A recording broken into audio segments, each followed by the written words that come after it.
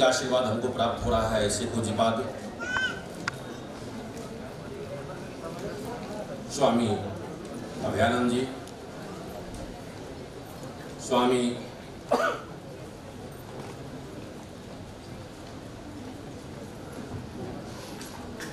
स्वामी जी का नाम जो लिखा है पढ़ नहीं पा रहा हूँ ज्योतिर्मयानंद जी महाराज जिनको हम टीवी पर गरजते हुए देखते हैं, हिंदू समाज के लिए, भारत और राष्ट्रीयता के लिए। ऐसे मित्र, श्री सुशील पंडित जी, डॉक्टर दिलीप जी, हमारे गुलबर्गा विश्वविद्यालय के माननीय कुलपिता दयानंद जी, अन्य मंच पर बैठे हुए सभी गणमान्य अतिथिगण, सम्मुख बैठे हुए माननीय गुरुजन वृंद और प्यारे भैया बहनों।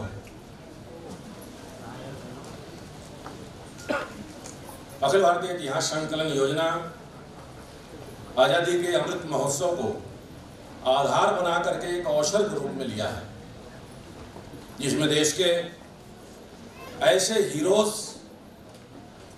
जिनका कंट्रीब्यूशन इस देश को स्वतंत्र कराने में रहा है उनको सबको सम्मानित करना, उनको याद करना, जो विस्मृत हो गए हैं, उनको पुनर्जीवित करना, उनके वंशजों को सम्मानित करना और उनके आँगन के माटी को अपने माथे पर तिलक लगाकर उनके प्रति कृतज्ञता व्यक्त करने का कार्य हमने प्रारंभ किया है। इस संगोष्ठी को लेकर सौ से अधिक संगोष्ठी पूरे भारत में अखिल भारतीय इतिहास संकलन योजना अपने समितियों के माध्यम से कर लिया है। एक हज़ार से अधिक लेक्चर के माध्यम से 75 बुक का पब्लिकेशन भी दिसंबर में हो जाएगा।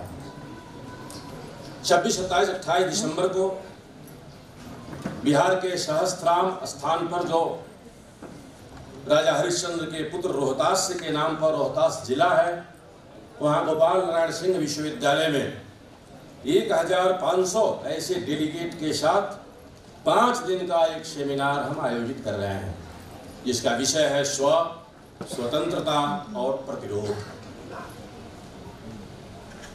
उसमें आप अधिकांश संख्या में हमारे समिति के लोगों से संपर्क करके आप उसमें आ सकते हैं।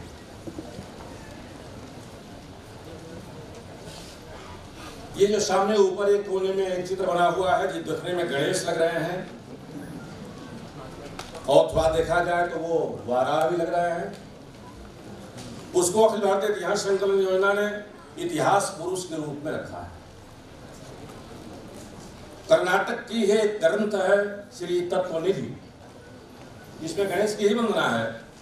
उसमें एक श्लोक है, इतिहास कुशाभाष शुक्राशयो महोदरा अक्ष सूत्रम विभ्रत पंकजा भणानिता जब उस चित्र को देखा गया तो लगा कि यह इतिहास पुरुष का ही चित्र है, क्योंकि यह बारह कल्प है। बारह भगवान लुप्त पृथ्वी को लेकर के बाहर आते हैं और सृष्टि की उत्पत्ति होती है। भारतीय कालगणना के आधार पर जो पंचांगों के माध्यम से हम भारत की काल गणना करते हैं, उसके हिसाब से एक अरब अंठानवे करोड़ वर्ष पूर्व पृथ्वी की उत्पत्ति हुई थी। तो एक अरब संतानवे करोड़ अड़तालीस लाख पाँच सौ चौबीस वर्ष पहले सृष्टि की उत्पत्ति भी हो गई। इसकी गणना साफ़ साफ़ है, उसका समय अभी नहीं है। लेकिन जब इतिहास को परिभाषित करते हुए हम देखते हैं तो ये कैसे महापुरुष हैं, ये कैसे इतिहास पुरुष हैं, उससे इतिहास की परिभाषा हमारे सामने आती है। इतिहास कैसा है, वो कषाय वस्त्र धारण किए हुए कषाय वस्त्र पर कोई दूसरा रंग नहीं चढ़ता। उदासीनो गतव्यथा का वह प्रतीक है।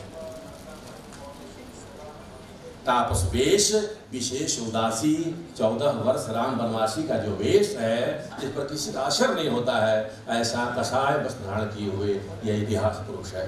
इतिहास, कुशावास, शुक्राशयो, मुँह छोटा है, लेकिन पेट बड़ा है महोदरा। छोटा सा मुँह इतिहास का है लेकिन उसके गर्भ में पूरी सृष्टि समाई हुई ऐसा इतिहास जो कमल के पत्र पर बैठा हुआ है, अर्थात बहुत ही कोमल है। कमल से भी कोमल है, इसलिए वो बैठा है। उसके हाथ में ज्ञान परंपरा का अक्ष सूत्र है और अमृत का कलश है। नहीं ज्ञान समृद्ध सदृशम पवित्र में विद्यते। ज्ञान के समान कोई पवित्र नहीं है। ऐसे पवित्रता को धारण किए हुआ इतिहास पुरुष हमारे इतिहास का गणना करता है। लेकिन दुर्भाग्य से अंग्रेज़ों के आने के बाद हमारा इतिहास हिस्ट्री में कन्वर्ट आ गया। हमने इतिहास को हिस्ट्री बना दिया। हिस्ट्री पश्चात लोगों के लिए था ही स्टोरी और हर स्टोरी। राजा रानी की कहानी, हमारा इतिहास राजा रानी की कहानी मात्र नहीं है। हमारा इतिहास, धर्मार्थ काम, मोक्षाणाम, उपदेश समन्विताम इति वृतम कथा युक्तम इतिहास प्रत्यक्षते हमारे पुराणों ने उसका उद्घोषणा किया है। चारों पुरुषार्थों को देने वाला, धर्म के आधार पर अर्थ और काम का पालन करके मोक्ष की प्राप्ति करने का जो मार्ग प्रशस्त करता है, वो हमारा इतिहास है। जिस देश का इतिहास विलुप्त हो जाता है, उसका देश का भविष्य ऐसे इतिहास जैसे विद्या जो मन के साथ जुड़ा हुआ है, जो मानविकी है, उसको अंग्रेज़ों ने विद्रुप्त करके और राजा रानी की कहानी बनाकर हमारे सामने रखा। और उसका परिणाम है कि हम दिग्भ्रमित हैं, भटकाव के समुद्र में बह रहे हैं। अंग्रेज़ों ने हमारे ग्रंथों को अपमानित किया, हमारे महापुरुषों को अपमानित किया और हमारे धरती को अपमानित करने का प्रयास किया। और आज भी अंग्रेज़ प्रस्त लोग उस पर अपना मत व्यक्त करते हुए थकते नहीं हैं। जिनकी मानसिकता आज भी इटली और यूरोप से जुड़ी हुई है, वो इस बात को कहते हैं कि हिंदू शब्द तो बाहर के लोगों ने ये भी कहेंगे, विष्णु पुराण में अंग्रेज़ों को लिखा, अंग्रेज़ों ने लिखा था। ये भी कहेंगे कि वो तो ऋग्वेद और अथर्ववेद भी अंग्रेज़ों ने लेकर हमको दिया था। क्योंकि अंग्रेज़ों के प्रति इतनी आस्था उनकी है, इसलिए उनकी चर्चा करने की आवश्यकता नहीं है। लेकिन इतना ज़रूरी है, जैसे हमारा दूसरा अध्यक्ष जी ने कहा था, मैं सुबह बातचीत करते हुए कहा कि मेरा नाम बाल मुकुंद है, ये हमने, हम नहीं जानते किसने रख दिया। देखिए बाल मुकुंद को कोई गाली देता है बाल मुकुंद को कोई अपमानित करता है, या बाल मुकुंद लिख कर लाल स्याही लगाता है तो उसको हम कुछ भी करने के लिए उद्दत हो जाते हैं। अगर मेरा कोई सम्मान करता है तो मुझे अच्छा लगता है। पता नहीं बाल मुकुंद क्या है, उसका अर्थ क्या है। उसी तरह हम हिंदू हैं ये भारत हिंदू राष्ट्र है। हिंदू के जो भी प्रवृत्तियाँ हैं, सर्वे बहुत सुखना सर्वे संत निरामया, मात्र प्रकारेशु विश्व को कुटुंब मानने वाले वस्तु कुटुंबकम, ये सारे जो श्रेष्ठ विचार हैं, वह हिंदू विचारधारा के अंतर्गत आते हैं। और उस श्रेष्ठ विचारधारा को धारण करने वाला जो भी व्यक्ति है, वह हिंदू है। इसलिए हिंदू कोई पूजा पद्धति नहीं है, हिंदू कोई जाति नहीं है, हिंदू कोई रेस नहीं है, हिंदू एक संस्कृति है, एक संस्कार है, जो चिरंतन है, नित्य नूतन और चिर पुरातन है, और उसको इसीलिए सनातन कहते हुए हम आए भारत में अंग्रेज़ों ने जो रेस की बात कर दी, और उनके साथ जल महिया लगाकर बात करने वाले लंबे नाक गोरे और लंबे लोगों को लगा कि अंग्रेज़ हमारा मौसेरा भाई है। हमारे हिंदी में कहते हैं चोर चोर मौसेरा भाई। और अंग्रेज़ों को अपना सगा मानकर अंग्रेज़ों की बात करने वाले लोग, भारत के परंपरा के, भारत के चित्त के, भारत के आत्मा को अपमानित करने का कार्य तब भी कर रहे थे और आज भी अज्ञानता अवश्य कर रहे हैं। इसलिए उनको क्षमा करना ज़्यादा बेहतर है। लेकिन जानना ज़रूरी है कि हम कौन हैं।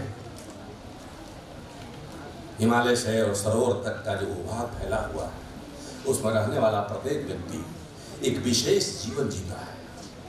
चाहे केरल हो, चाहे कश्मीर हो। जब भी कोई बीज बेचता है, धान का बीज बेचता है या किसी अनाज का बीज बेचता है तो थोड़ा सा उसमें डाल देता है। कि कहीं गलती से कम तोल दिया हो तो उसकी भरपाई हो जाए। यह हिंदुत्व है। ये दुनिया में कहीं नहीं। दूसरे को अपने घर में बुलाकर भर पे भोजन कराकर, दक्षिणा देकर, उसको सम्मानित करके और मन में जो प्रसन्नता होती है, वह हिंदुत्व है, दुनिया में कहीं नहीं। ईसाइयों ने एक सर्वे कराया है कि ईसाइयों को दान मिलना बंद हो गया है। आखिर कारण क्या कि भारत में इतने दान मिलते हैं? तो एक सर्वे हुआ, उस सर्वे में एक अरब उनतालीस सैंतीस करोड़ जो जनसंख्या हमारी है, उसमें 28 करोड़ लोग रोज फ्री भोजन करते हैं, ये केवल भारत में। तो दूसरे को बुलाकर शादी में, तिलक में किट्टी पार्टी में बर्थडे में, यज्ञ में, भंडारा में, जो सारी बातें होती हैं, वो केवल भारत में है, दुनिया में जाएँगे तो आपके खाने के बाद बिल मिल जाएगा पेइंग गेस्ट घोषित हो जाएँगे। ये केवल भारत है। वह जो कार्य है विकलांगों को सहायता करना, असहायों को सहायता करना, छोटे लोगों को सहायता करना, बड़े लोगों को सहायता करना, किसी को अपमानित नहीं करना, सबको सम्मानित करना, सबके सुख की परिकल्पना करना, वह हिंदू धर्म की परिकल्पना है, वह हिंदू की बात करता है। इसीलिए हिंदू कहने में संकोच करने की ज़रूरत नहीं है। भारत में रहने वाला प्रत्येक व्यक्ति हिंदू है। हमने अपनी पूजा पद्धति बदल दी होगी।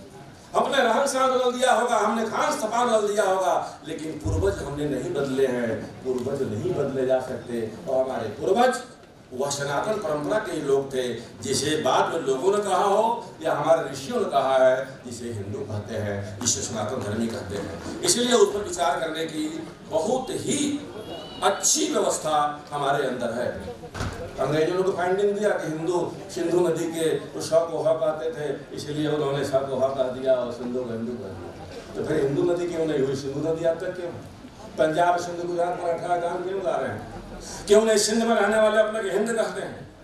क्यों नहीं सिंधी भाषा सिंधी लोग अपने की हिंदी कहते हैं? या हिंदू सरकारों ने एक विभ्रम पैदा करके और हमारे तथाकथित जो विद्वान लोग थे, उन लोगों ने हमारे समाज में फैला है। जब हम बात करते हैं, हमारे वहाँ परंपरा है कि इतने लोग इकट्ठा हुए हैं। जब भी इस तरह की बात होती है तो एकदम उन्हें सर्वे सर्व लोग हितरता। एक बार देश के सारे ऋषियों ने, साधुओं ने, संतों ने इकट्ठा होकर के लोग के हित के लिए एक सेमिनार किया। और फिर अट्ठासी हज़ार ऋषियों की बात आती है, कहीं नैमिषारण्य में तो कहीं काशी में तो कहीं प्रयाग में तो कहीं चित्रकूट में इकट्ठा होकर के और उन समस्याओं पर विचार करते हैं। और विचार में एक सूत जी है, वो बताते हैं कि इसके पहले क्या क्या समस्या आई थी और उसका समाधान हमने क्या क्या किया। इस प्रकार की संगोष्ठी होती है, उस संगोष्ठी में हम बात करते हैं।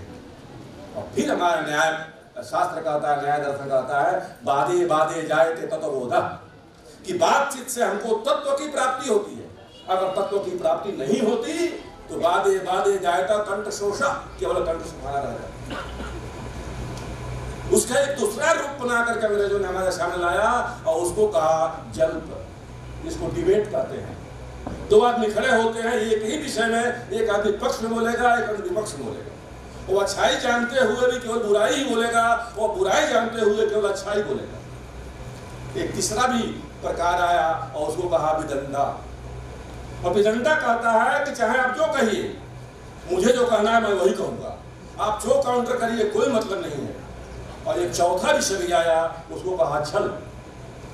और छल में विषयों को तोड़ करके यहाँ से उठाकर यहाँ यहाँ से उठाकर यहाँ, और उसको एक एक ट्रेंड बनाकर पूरे भारत में फैलाया गया, जो हमारे ऋषियों ने जो तप के द्वारा, जो मंत्रों की दृष्टा का दर्शन किया था, और वेदों के रूप में हमारे सामने लाया था, उसको उन्होंने समाप्त करने का प्रयास किया। और इसके कारण से एक बहुत बड़ी समस्या, एक बहुत बड़ा दिक्कत हमारे सामने आई कि आज हमारे ही विचारधारा के लोग, हमारे ही देश के लोग अपने ही देश को, अपने को गाली देने में गौरव का की अनुभूति करते हैं। इसलिए आवश्यक है कि उनकी पढ़ाई उस तरह से नहीं हुई, हमारी शिक्षा नीति इस प्रकार की नहीं रही। उस शिक्षा नीति के आधार पर हम अपने धर्म को, अपने पूर्वजों को, अपने रिचुअल्स को, अपने मानवता को, अपने जीवन की पद्धति को हम समझने का प्रयास करें और उसको नहीं करता है। फिर हम धर्म को रिलीजन से जोड़ दिए। जब हम किसी सोनार के यहाँ कोई गहना खरीदते हैं गहना खरीदते हैं तो धर्म कांटा पड़ जाता है।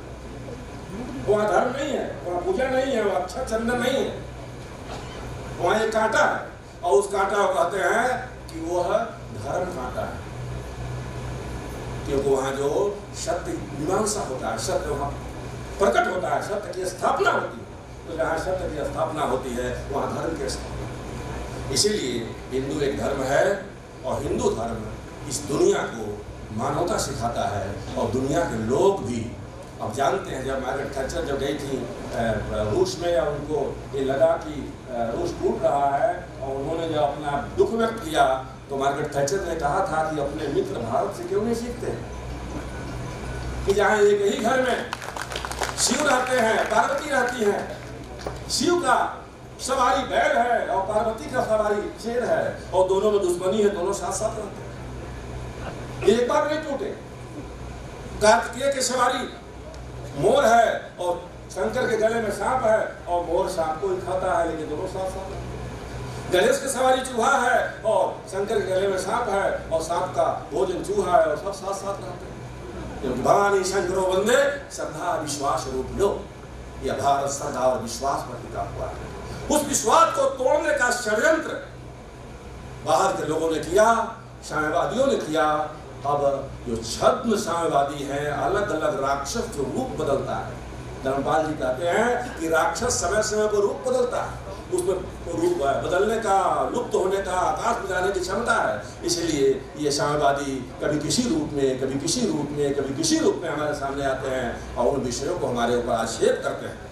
इसलिए ये आवश्यक है कि भारत के मूल तत्वों को, मूल इतिहास को, अपने वैदिक परंपरा को, अपने धार्मिक परंपरा को, अपने फोर फादर से आए हुई उस परंपरा का हम निर्वाह करें, उसे समझने का प्रयास करें और उसको जान करके ही हम आगे काम कर सकें इसलिए अटल बिहारी वाजपेयी जब बयालीस में अभी छोटे थे, बारहवीं में शायद पढ़ रहे, बारहवीं पास किए थे उसमें उन्होंने कविता लिखी थी कि हिंदू तनमन हिंदू जीवन, रग रग हिंदू मेरा परिचय।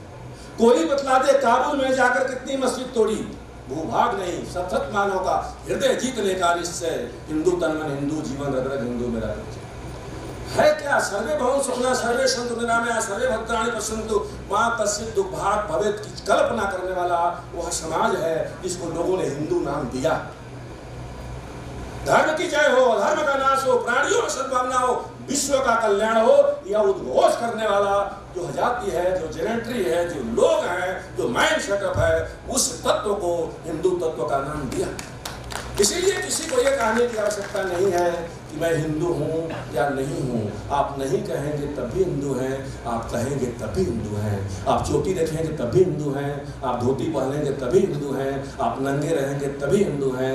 आप शैम्पू लगाएँगे तभी हिंदू हैं, आप भस्म लगाएँगे तभी हिंदू हैं, आप मांसाहारी हैं तभी हिंदू हैं, आप शाकाहारी हैं तभी हिंदू हैं। केवल मानसिकता हमारी है कि हम भारतवर्ष के हैं और भारत को माता मानते हैं। और इस भारत के लिए अपना सब कुछ उठाने को तैयार रहते हैं। इसलिए हमारा, ये हमारे भारत माता से माँ और बेटे का संबंध है। इसलिए हम यहाँ के हैं।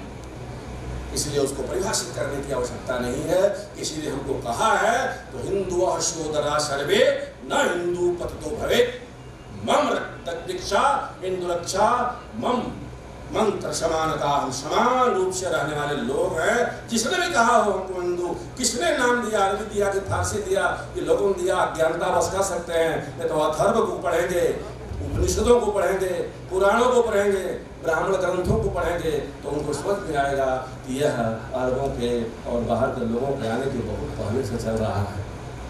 अज्ञानता में अपनी बातें वो करते हैं। इसलिए आवश्यकता है कि हमारी अनुभूति उस प्रकार से कैसे बने। आज़ादी के अमृत महोत्सव को हम चार खंडों में बांटे हैं। चौदह सौ अंठानवे से लेकर उन्नीस सौ सैंतालीस तक का जो काल पीरियड है, जिसमें हमारे लाखों लोग हुतात्मा हुए। लाखों लोगों की हत्याएँ हुई। लाखों माताओं के गोद सुनी हुई। लाखों माताएँ विधवा हुई। लाखों मजदूर, किसान, ग्रामीण, विद्यार्थी, आचार्य साधु, संत, अध्यापक, बलिदान हो गए उसमें किसी को प्रधानमंत्री नहीं बनना उनके विषय में सोचने की आवश्यकता ले लिया, आज़ादी बिना खड्ग, बिना ढाल, साबरमती का लाल तुमने कर दिया कमाल।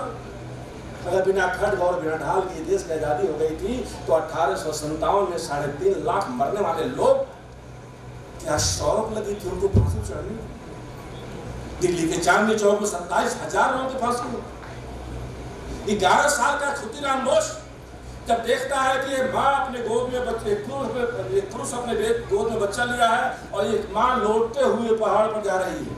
तो पूछता है कि माँ लौट के क्यों जा रही है? तो उसका पति बताता है कि माँ ने मान्यता मांगी थी काली माता से कि मेरे पुत्र हो जाएगा तो मैं लौटते हुए ऊपर जाऊँगी। खुदिराम बोस लौटने लगता है। वह पुरुष पूछता है, तुम क्यों लौट रहे हो? तू कहता है, मेरी भारत माता के हाथ में बेड़िया है, मैं काली माता से कहूँगा कि माँ की बेड़ियाँ काट दो वह जीवन भर लौटता हुआ बिना खर्द और बिना ढाल की आज़ादी नहीं मिली। जंगलों में सैर करने से लाल रेडी माउंट बेटन को लेकर के इस देश की आज़ादी नहीं मिली। एक ही सिगे सिगरेट सिगार जलाकर पीने से इस देश की आज़ादी नहीं मिली। इन महापुरुषों का कंट्रीब्यूशन कम नहीं था। लेकिन उनको अपमानित करने की ज़रूरत नहीं है, जो जेल नहीं गए। उनको अपमानित करने की ज़रूरत नहीं है, ऐसे फ्रीडम फाइटर जिनके घर जला दिए गए, जिनको खेत से वंचित कर दिए गए, जिनकी सारी सीमाएँ टूट गई, जो जेल में उनका नाम नहीं आया, उनके लाशों को दफना खत्म कर दिया गया। एक हज़ार सत्तर से अधिक जालियावाला बाग हत्याकांड में मारे गए थे, और नाम दो सौ सत्तर लोगों का आया। बाकी लोग क्या फ्रीडम फाइटर नहीं थे?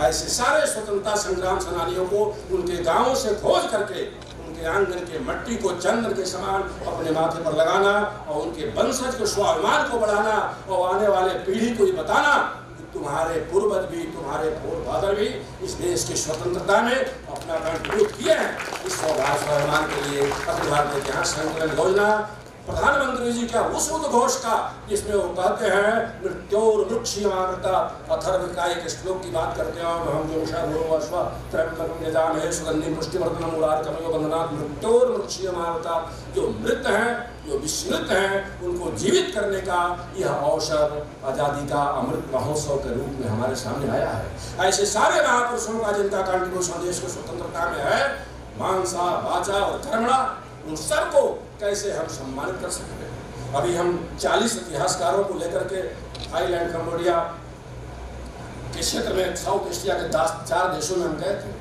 सुभाष चंद्र बोस ने जहाँ जहाँ पद चिन्ह रखे हैं वहाँ वहाँ हम लोगों ने उत्सव किया। आई एन ए का स्थापना इक्कीस अक्टूबर को था। वहाँ के लोग नहीं जानते, मलेशिया के लोग नहीं जानते, सिंगापुर के लोग नहीं जानते।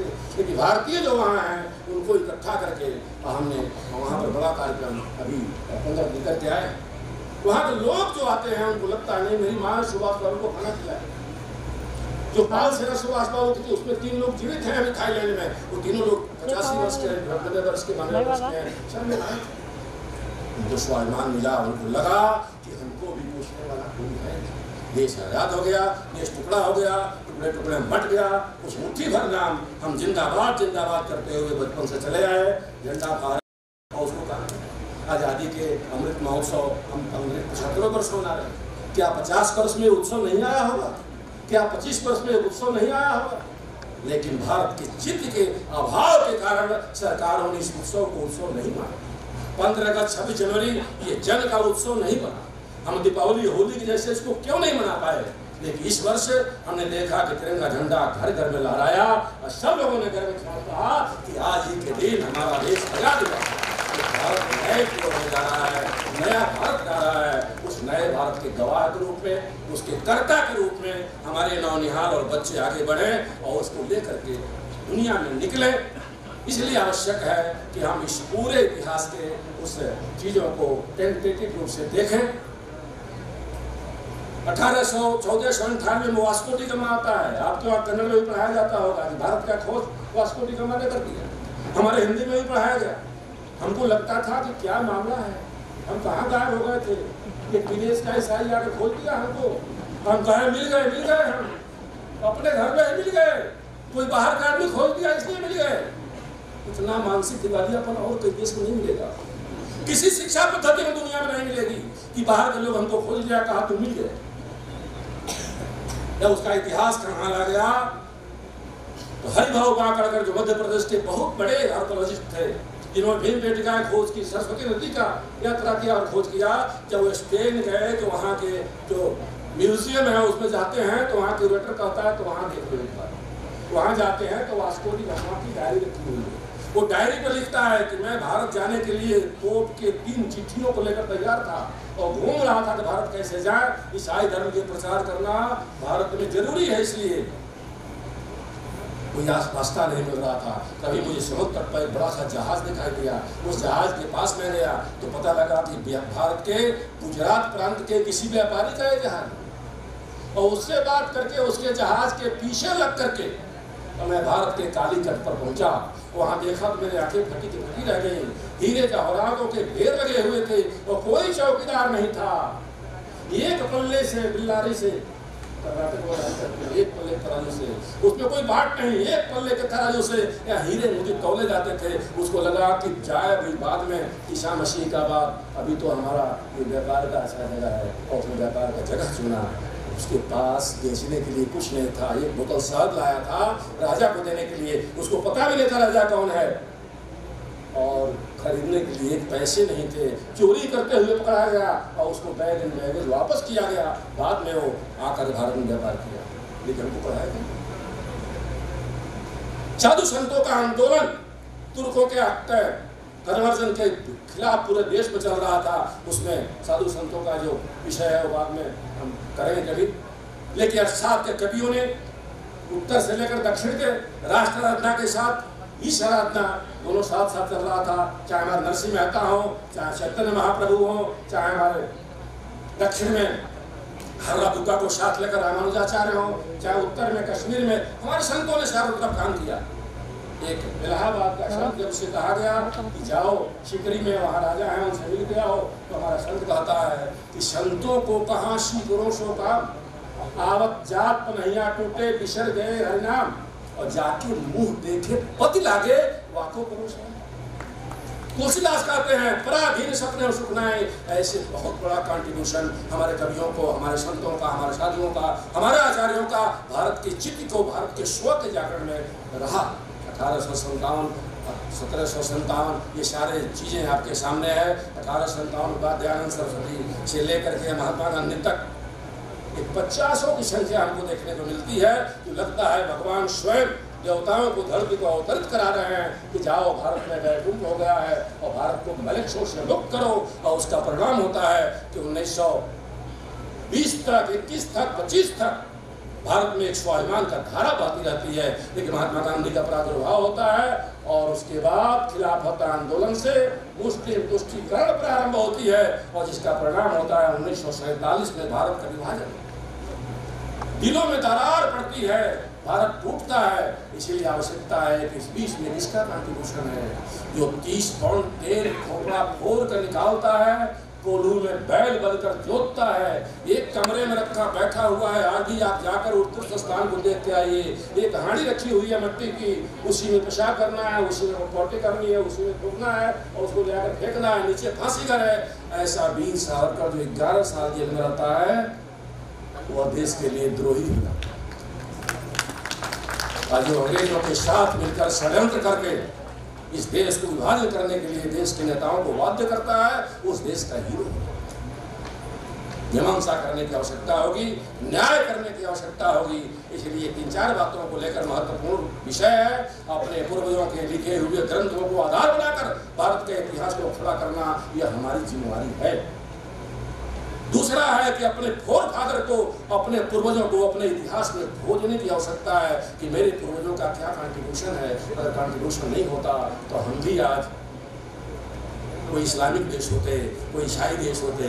हमारे पूर्वजों ने संघर्ष किया है। हमारे साधु संतों ने, हमारे आचार्यों ने, किसानों ने, मजदूरों ने, वनवासियों ने गिरवासियों ने, महिलाओं ने, बच्चों ने, विद्यार्थियों ने जो बलिदान दिया है, उसका परिणाम है कि आज भी आज विदर्भ में खड़ा होकर मैं हिंदू के नाते अपने सीना चौड़ा करके बोलने में सक्षम हूँ। उनके प्रति कृतज्ञता व्यक्त करने की आवश्यकता है। उनको इतिहास में खोज करके, उसको संदर्भ ग्रंथों के माध्यम से पाठ्य पुस्तकों तक स्थापित करने की आवश्यकता है। उन विषयों को जानने की आवश्यकता है कि कश्यप ऋषि का कश्मीर आज क्यों सुलगती हुई बारूदों का सुरंग बनकर खड़ा हो गया था। वह कौन सा कारण था कि हमसे लंका चला गया? हमसे कश्मीर जाने की स्थिति में आ गया, हमसे पाकिस्तान बांग्लादेश चला गया, हमारा बर्मा चला गया ब्रह्मदेश चला गया, लाओस चला गया। ये कौन सी परिस्थितियाँ थी? आज हम दुनिया में कम्पीट कर रहे हैं। आज हम दुनिया में विजयी भाव में हैं। इसलिए आवश्यक है कि अपने इतिहास के माध्यम से स्वाभिमान को स्थापित करें, अपने स्व को स्थापित करें आप विस्मृति को दूर करके भारत को खड़ा करने का प्रयास करें। और यह देखें कि विवेकानंद जी कह रहे हैं कि भारत जाग उठा है और भारत माता दुनिया के सर्वोच्च सिंहासन पर आरूढ़ हो रही हैं। उसमें हम उनके चरणों के धूल के रूप में अगर समाहित हो सके। अपने गुरुजनों से वंदना करूँगा कि संदर्भ ग्रंथों के ठीक प्रकार से टर्म का प्रयोग करते हुए, ठीक ठीक प्रकार से विषयों का प्रयोग करते हुए और हमारे नौनिहालों के लिए पुस्तकों की रचना की जाए। चर्चाओं के माध्यम से जो हमारे अंदर अंधकार है, उसको दूर करने का प्रयास किया जाए, हमारे स्व को जागृत किया जाए और हमारे प्रतिरोध में जो पूर्वजों ने हमारा कंट्रीब्यूट किया है, उसको लाने का प्रयास किया जाए। रामकृष्ण से लेकर शिवाजी महाराज और महाराणा प्रताप से लेकर के और नीचे के कृष्णदेव राय से लेकर सारे जो महापुरुष जो कभी भी स्वाधीनता पराधीनता स्वीकार नहीं किए, संघर्ष करते हुए अपने को बलिदान कर दिए वो हमारे इतिहास के पाठ्य पुस्तकों का मूल विषय हो। जिसके कारण से हमारे अंदर स्वाभिमान आए। चूँकि उद्घाटन का सत्र बहुत लंबा हो गया है, मैं तो चाहता था कि कुछ बड़े संत लोग बैठे हैं, बड़े विद्वान लोग बैठे हैं, कुछ प्रश्नोत्तर होता और प्रश्नोत्तर से विषय स्पष्ट होता, लेकिन देखा जाएगा जैसा महोदयों के विचार में होगा, समापन में भी ये काम हो सकता है। लेकिन मेरा इतना प्रार्थना है कि अपने स्व को पहचानिए, अपने आप को पहचानिए। हम राम के वंशज हैं, हम कृष्ण के वंशज हैं, हम विवेकानंद, दयानंद के वंशज हैं, हम रामाचार्य के अनुयायी हैं। हम कहीं नरसिंह मेहता तो कहीं शंकर देव के अनुयायी हैं। जगत गुरु शंकराचार्य, जो कश्मीर का केरल में पैदा होते हैं, कालड़ी से, और केदारनाथ तक पैदल यात्रा करके पूरे भारत के नक्शे को हमारे सामने रखते हैं। वो सारे महापुरुषों का जो कॉन्ट्रीब्यूशन जो उनका त्याग है, उनकी तपस्या घर से निकलती है, सीता जी तुलसीदास लिखते हैं कि पुरते विकसी रघुवीर मधु, धर धीर धरे मग में दग जो कभी कालीन से नीचे जिसका पैर नहीं आया था, ऐसा सीता माता जब निकलती है घर से तो उनके होठ सूख जाते हैं, पसीने आ जाते हैं, दुई डग रखने में और चौदह वर्ष तक वनों में घूमती रही, संघर्ष करती रही, कारण रावण का संघार था, विरोधियों का संघार था, भारत में एक संस्कृति स्थापना करती थी ऐसे राम के तप को, ऐसे कृष्ण के तप को, ऐसे सावरकर के तप को, ऐसे महाराणा प्रताप के तप को, ऐसे शिवाजी महाराज के तप को, ऐसे शंकराचार्य के तप को, हमारे साधु संतों के तप को हमारे पूर्वजों के तप को वो सारे संघर्षों को अगर हम भूल गए तो आने वाली पीढ़ी हमको कृतज्ञ समझेगी और भारतीय चिंतन परंपरा में कृतज्ञता दुनिया की सबसे बड़ा अभिशाप और पाप है, जिसका प्रायश्चित करना भी संभव नहीं है। इसलिए मैं प्रार्थना करने आया हूँ, अपने पूर्वजों का इतिहास में उसी प्रकार समावेश होना चाहिए ऐसे विदेशियों को पढ़ कर हम बड़े हुए हैं। अपनी भाषा, अपनी भूषा, अपना वेश और अपनी भार्या भारतीय संस्कृति के चार स्तंभ हैं, उसको स्थापित करते हुए और भारत को परम वैभव ले जाने में हम सक्षम हों, इतना ही प्रार्थना करते हुए उद्घाटन सत्र में आपकी बात में समाप्त करता हूँ। धन्यवाद।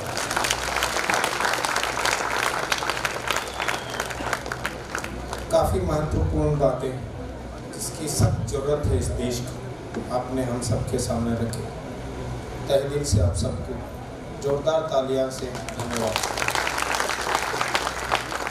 ಸಮಯ ಮೀರುತ್ತಾ ಇದ್ದರೂ ಅನಿವಾರ್ಯತೆ ಇದೆ ವಿಶೇಷ ಸತ್ಕಾರದಲ್ಲಿ ಬೀದರ್ ಜಿಲ್ಲೆಯನ್ನು ಇಡೀ ರಾಜ್ಯಕ್ಕೆ ಮತ್ತೊಂದು ಬಾರಿ ವಿಶೇಷವಾಗಿ ಗುರುತಿಸುವಂತೆ ಮಾಡಿರುವಂತಹ ಕರ್ನಾಟಕ ರಾಜ್ಯ ಸರ್ಕಾರಿ ನೌಕರರ ಸಂಘದ ನೂತನ ಉಪಾಧ್ಯಕ್ಷರಾಗಿ ಮೊದಲ ಬಾರಿಗೆ ನಮ್ಮ ಕಿರೀಟಪ್ರಾಯ ಜಿಲ್ಲೆಗೆ ತಂದುಕೊಟ್ಟಂತ ಶ್ರೀ ರಾಜೇಂದ್ರ ಕುಮಾರ್ ಗುಂದ್ಗೆ ಅವರಿಗೆ ಈ ಸಂದರ್ಭದಲ್ಲಿ ವಿಶೇಷ ಸತ್ಕಾರ.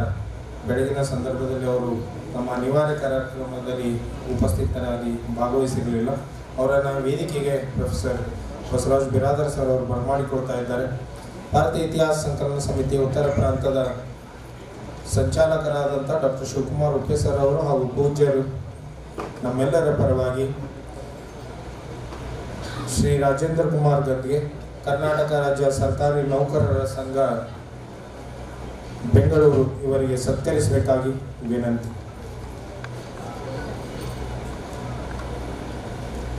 ಕ್ಷಮಿಸಬೇಕು. ಕಾರ್ಯಕ್ರಮ ಒಂದು ಇಪ್ಪತ್ತು ನಿಮಿಷ ವಿಳಂಬ ಆಗಿದೆ. ನಾವು ಆದಷ್ಟು ಸಮಯದಲ್ಲೇ ಕನ್ಕ್ಲೂಡ್ ಮಾಡೋಕ್ಕೆ ಪ್ರಯತ್ನ ಮಾಡ್ತೀವಿ. ಕೆಲವು ಅನಿವಾರ್ಯ ಪ್ರಸಂಗಗಳು ಎದುರಾಗ್ತವೆ, ಅದನ್ನು ನಾವು ಧಿಕ್ಕರಿಸೋದಕ್ಕಾಗೋದಿಲ್ಲ. ದಯವಿಟ್ಟು ತಮ್ಮ ಸಹಕಾರ ಇರ್ತದೆ ಜುಲೈ ಒಂದು ಹತ್ತೊಂಬತ್ತು ನೂರ ಎಪ್ಪತ್ತರಂದು ಬೀದರ್ನಲ್ಲಿ ಶರಣ ಸಂಸ್ಕೃತಿ ದಂಪತಿಗಳಿಗೆ ಜನ್ಮಿಸಿರುವ ಶ್ರೀ ರಾಜೇಂದ್ರ ಕುಮಾರ್ ಗಂಗೆ ಅವರು ವಾಣಿಜ್ಯ ತೆರಿಗೆ ಇಲಾಖೆಯಲ್ಲಿ ಸೇವೆಗೆ ಸೇರಿ ಮುಂದೆ ಹತ್ತೊಂಬತ್ತು ನೂರ ತೊಂಬತ್ತೆಂಟರಲ್ಲಿ ಮೊದಲನೇ ಬಾರಿಗೆ ಸರ್ಕಾರಿ ರಾಜ್ಯ ನೌಕರರ ಸಂಘಕ್ಕೆ ನೇಮಕ ಆಗಿರುವಂಥದ್ದು. ತದನಂತರ ಎರಡು ಸಾವಿರ ಹದಿಮೂರರಲ್ಲಿ ಪ್ರಥಮ ಬಾರಿಗೆ ಸಂಘದ ಅಧ್ಯಕ್ಷರಾಗಿ ಆಯ್ಕೆಗೊಂಡು ಎರಡು ಸಾವಿರ ಹತ್ತೊಂಬತ್ತರಲ್ಲಿ ಎರಡನೇ ಬಾರಿಗೆ ಬೀದರ್ ಜಿಲ್ಲಾಧ್ಯಕ್ಷರಾಗಿ ಪುನರಾಯ್ಕೆಗೊಂಡು, ಈಗ ಅಂದರೆ ಎರಡು ಸಾವಿರ ಇಪ್ಪತ್ತೆರಡರಲ್ಲಿ ಕರ್ನಾಟಕ ರಾಜ್ಯ ಸರ್ಕಾರಿ ನೌಕರರ ಸಂಘದ ರಾಜ್ಯ ಉಪಾಧ್ಯಕ್ಷರಾಗಿ ನೇಮಕಗೊಂಡಿರುವುದು ನಮ್ಮೆಲ್ಲರಿಗೆ ಸಂತಸ ಹೆಮ್ಮೆಯ ವಿಷಯ. ಈ ಮಹನೀಯರಿಗೆ ಈ ವಿಶೇಷ ಸಂದರ್ಭದಲ್ಲಿ ನಮ್ಮೆಲ್ಲರ ಪರವಾಗಿ ಸತ್ಕಾರ. ಶ್ರೀ ರಾಜೇಂದ್ರ ಕುಮಾರ್ ಗಂಜೆ ಸರ್ ಸನ್ಮಾನ ಸ್ವೀಕರಿಸಿದ ಶ್ರೀ ಗಂಗೆ ಸರ್ ಅವರಿಗೆ ಧನ್ಯವಾದಗಳು.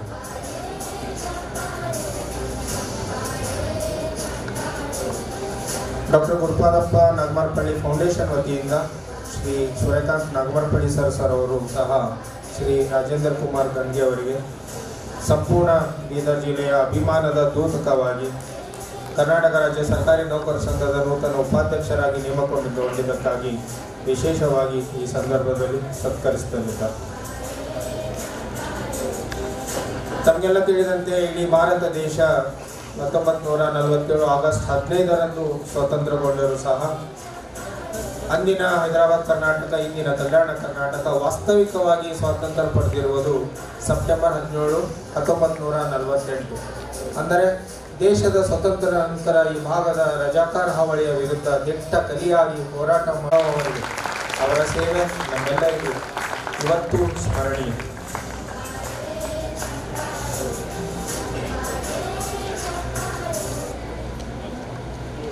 ಈ ಪುಸ್ತಕದ ಪ್ರಕಟಣೆಗೆ ಸಹಕರಿಸಿರುವಂತಹ ಚಂದ್ರಶೇಖರ್ ಪಾಟೀಲ್ ಅವರನ್ನು ಬಹುಶಃ ತಾವೆಲ್ಲರೂ ನೋಡ್ತಾ ಇದ್ದೀರಿ. ನಾವು ವಿದ್ಯಾರ್ಥಿಗಳಾಗಿದ್ದಾಗ ಹೈದರಾಬಾದ್ ಕರ್ನಾಟಕದ ಹುಲಿ ಎನ್ನುವಂತಹ ಪಾಠ ಸಹ ಪಠ್ಯದಲ್ಲಿತ್ತು. ಮಾಗಾವದಲ್ಲಿ ಜನಿಸಿ ಸ್ವಾಮಿ ರಮಾನಂದ ತೀರ್ಥವರ ನೇತೃತ್ವದಲ್ಲಿ ಹತ್ತೊಂಬತ್ತು ನೂರ ನಲವತ್ತೇಳು ನಲವತ್ತೆಂಟರ ಕಾಲಘಟ್ಟದಲ್ಲಿ ಕಾಸಿಂ ರಜ್ವಿಯ ರಜಾಕಾರರ ವಿರುದ್ಧ ದಿಟ್ಟದಿಂದ ಹೋರಾಟ ನಡೆಸಿ ಈ ಭಾಗಕ್ಕೂ ಸಹ ಸ್ವತಂತ್ರಕ್ಕೆ ಪೂರಕವಾದಂಥ ವಾತಾವರಣ. ವಾಸ್ತವಿಕವಾಗಿ ಅಂದಿನ ಗೃಹ ಮಂತ್ರಿ ಸರ್ದಾರ್ ವಲ್ಲಭಾಯ್ ಪಟೇಲ್ ಅವರ ದಿಟ್ಟ ನಿಲುವಿನಿಂದ ಈ ಭಾಗ ಸ್ವತಂತ್ರ ಆಗಿತ್ತು. ಆದರೆ ಸರ್ದಾರ್ ವಲ್ಲಭಾಯ್ ಪಟೇಲ್ ಅವರು ಈ ನಿರ್ಧಾರ ಕೈಗೊಳ್ಳುವುದಕ್ಕೆ ಈ ಭಾಗದ ಅದೆಷ್ಟೋ ವೀರ ಹೋರಾಟಗಾರರು ಕಾರ್ಯನಿರ್ವಹಿಸಿದರು. ಅವರಲ್ಲಿ ಮಾಗಾವ್ನ ಚಂದ್ರಶೇಖರ್ ಪಾಟೀಲ್ ಸಹ ಒಬ್ಬರು. ಅವರ ಇಡೀ ಜೀವನ ಈ ಭಾಗದ ಸ್ವಾತಂತ್ರ್ಯಕ್ಕಾಗಿ ಮುಡುಪಾಗಿಟ್ಟಿರುವಂಥದ್ದು. ಅಂಥ ಮಹನೀಯರ ತ್ಯಾಗ ಬಲಿದಾನದಿಂದಲೇ ಇವತ್ತು ನಾವೆಲ್ಲರೂ ಈ ಭಾಗದಲ್ಲೂ ಸಹ ಸ್ವತಂತ್ರವಾಗಿರುತ್ತೇವೆ ಅಂತ ಒಂದು ಸಾರ್ಥಕವಾದಂಥ ಕಾರ್ಯ ಮಾಡಿರುವಂಥ ನಾಗರಾಜ್ ಕರ್ಪೂರ್ ಅವರಿಗೂ ಈ ಪುಸ್ತಕವನ್ನು ಬರೆದಿರುವಂತಹ doctor B C Mahabaleshwarappa sir ಅವರಿಗೂ, ಈ ಪುಸ್ತಕದ ಮತ್ತೊಂದು ವಿಶೇಷ ಅಭಿನಂದನೆಗಳು ಹಾಗೂ ವಿಶೇಷ ಸತ್ಕಾರ.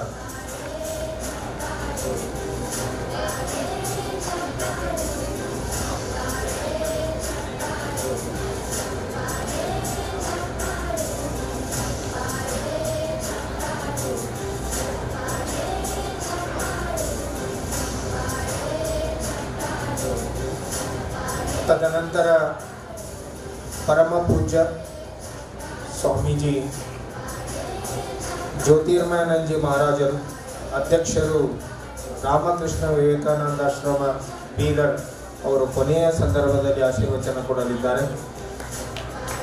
ರಾಮಕೃಷ್ಣ ವಿವೇಕಾನಂದ ವೇದಾಂತ ಆಶ್ರಮ ಬೆಂಗಳೂರಿನಿಂದ ಆಗಮಿಸಿರುವಂತಹ ಪರಮ ಪೂಜ್ಯ ಸ್ವಾಮೀಜಿ ಅಭಯಾನಂದಜಿ ಮಹಾರಾಜ್ ಅವರು ನಮ್ಮೆಲ್ಲ ಉದ್ದೇಶಿಸಿ ಸಂಸ್ಕೃತಿಯ ಉಪನ್ಯಾಸ ಕೊಡಲಿದ್ದಾರೆ.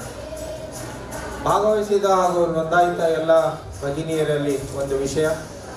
ರಾಷ್ಟ್ರೀಯ ವಿಚಾರ ಸಂಕಿರಣದಲ್ಲಿ ಆಯ್ಕೆ ಮಾಡಿರುವ ಅಂದರೆ ತುಂಬ ಚರ್ಚೆಯಾಗಿ ನಂತರ ಆಯ್ಕೆ ಮಾಡಿರುವ ಮೂರು ವಿಷಯಗಳು.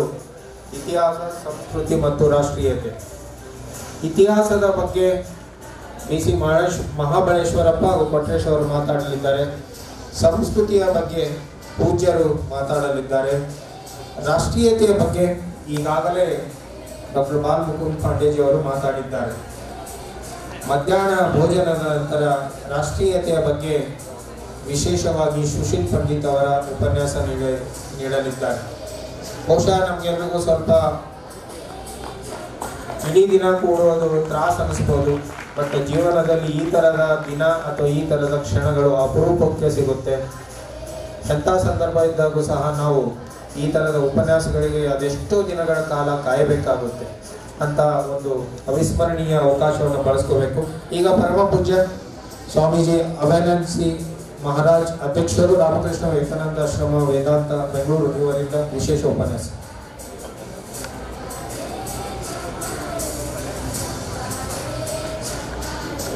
ಸರ್ ಆಫ್ ಮಾಡಿ.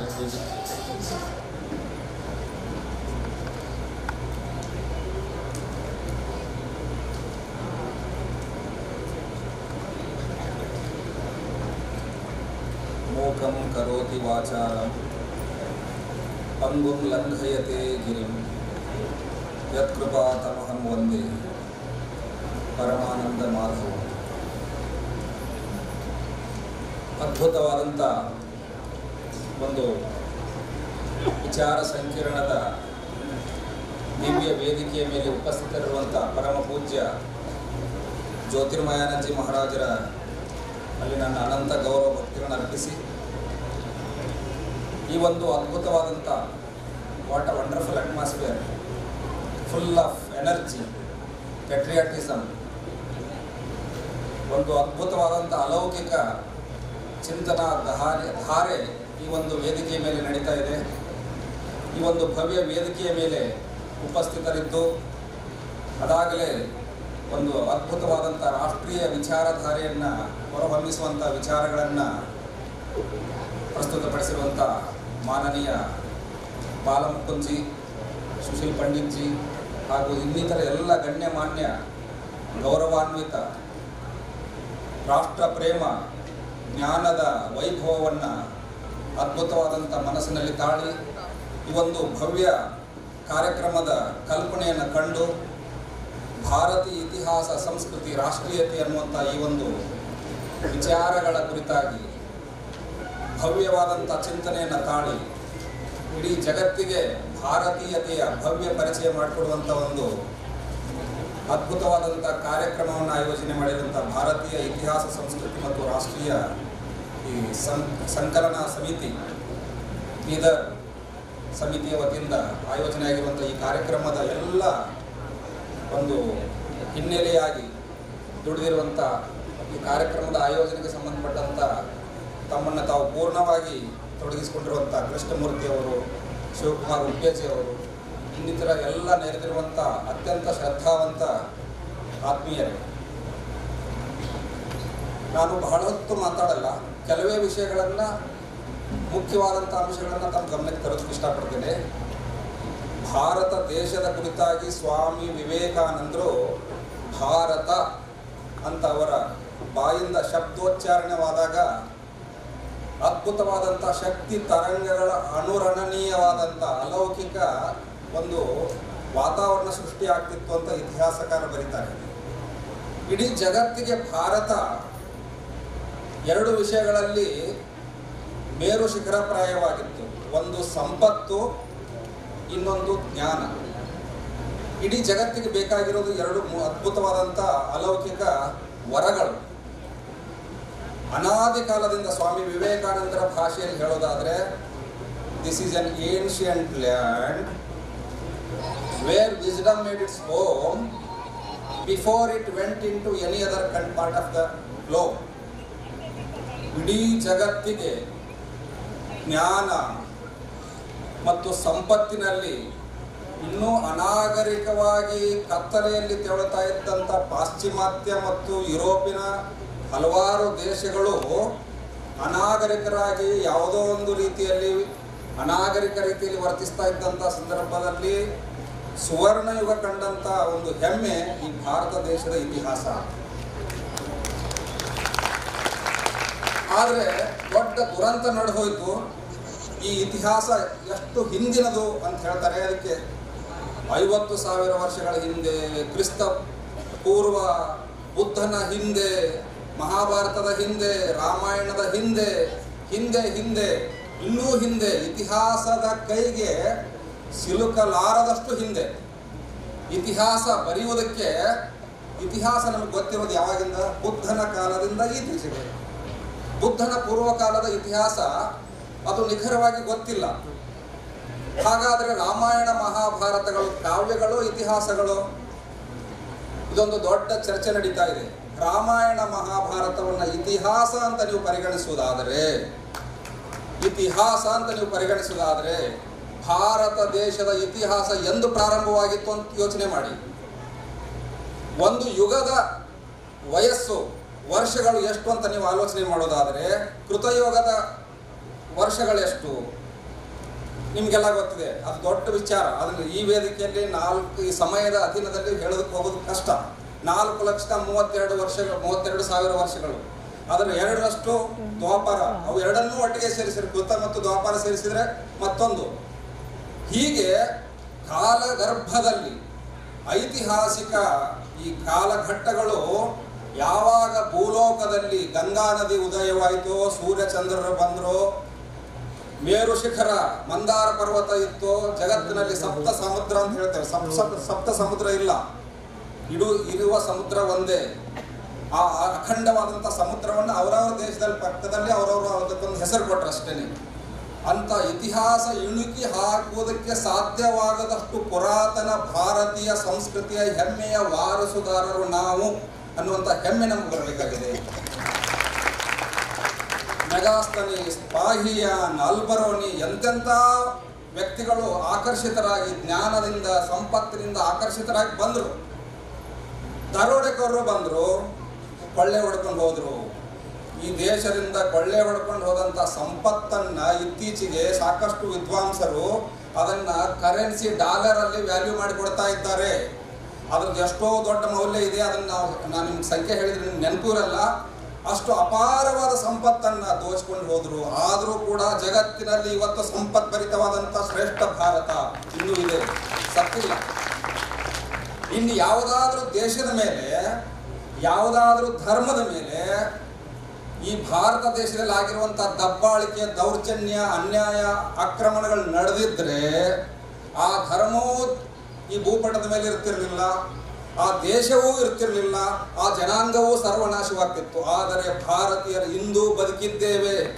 ಎದೆ ತಟ್ಟಿ ಹೆಮ್ಮೆಯಿಂದ ಹೇಳಿಕೊಳ್ಳೋದಕ್ಕೆ ನಾವೆಲ್ಲ ಇನ್ನೂ ಭಾರತೀಯ ರಾಷ್ಟ್ರೀಯ ಅದ್ಭುತವಾದಂಥ ಸನಾತನ ಧರ್ಮಕ್ಕೆ ಸೇರಿದಂಥ ಭಾರತೀಯರು ಇನ್ನೂ ಎದೆ ತಟ್ಟಿ ನಿಂತಿದ್ದೇವೆ ಅಷ್ಟೇ ಅಲ್ಲ, ಜಗತ್ತಿನ ಇನ್ನಿತರ ರಾಷ್ಟ್ರಗಳು ತೊಳಲಾಡ್ತಾ ಇದ್ದಾವೆ.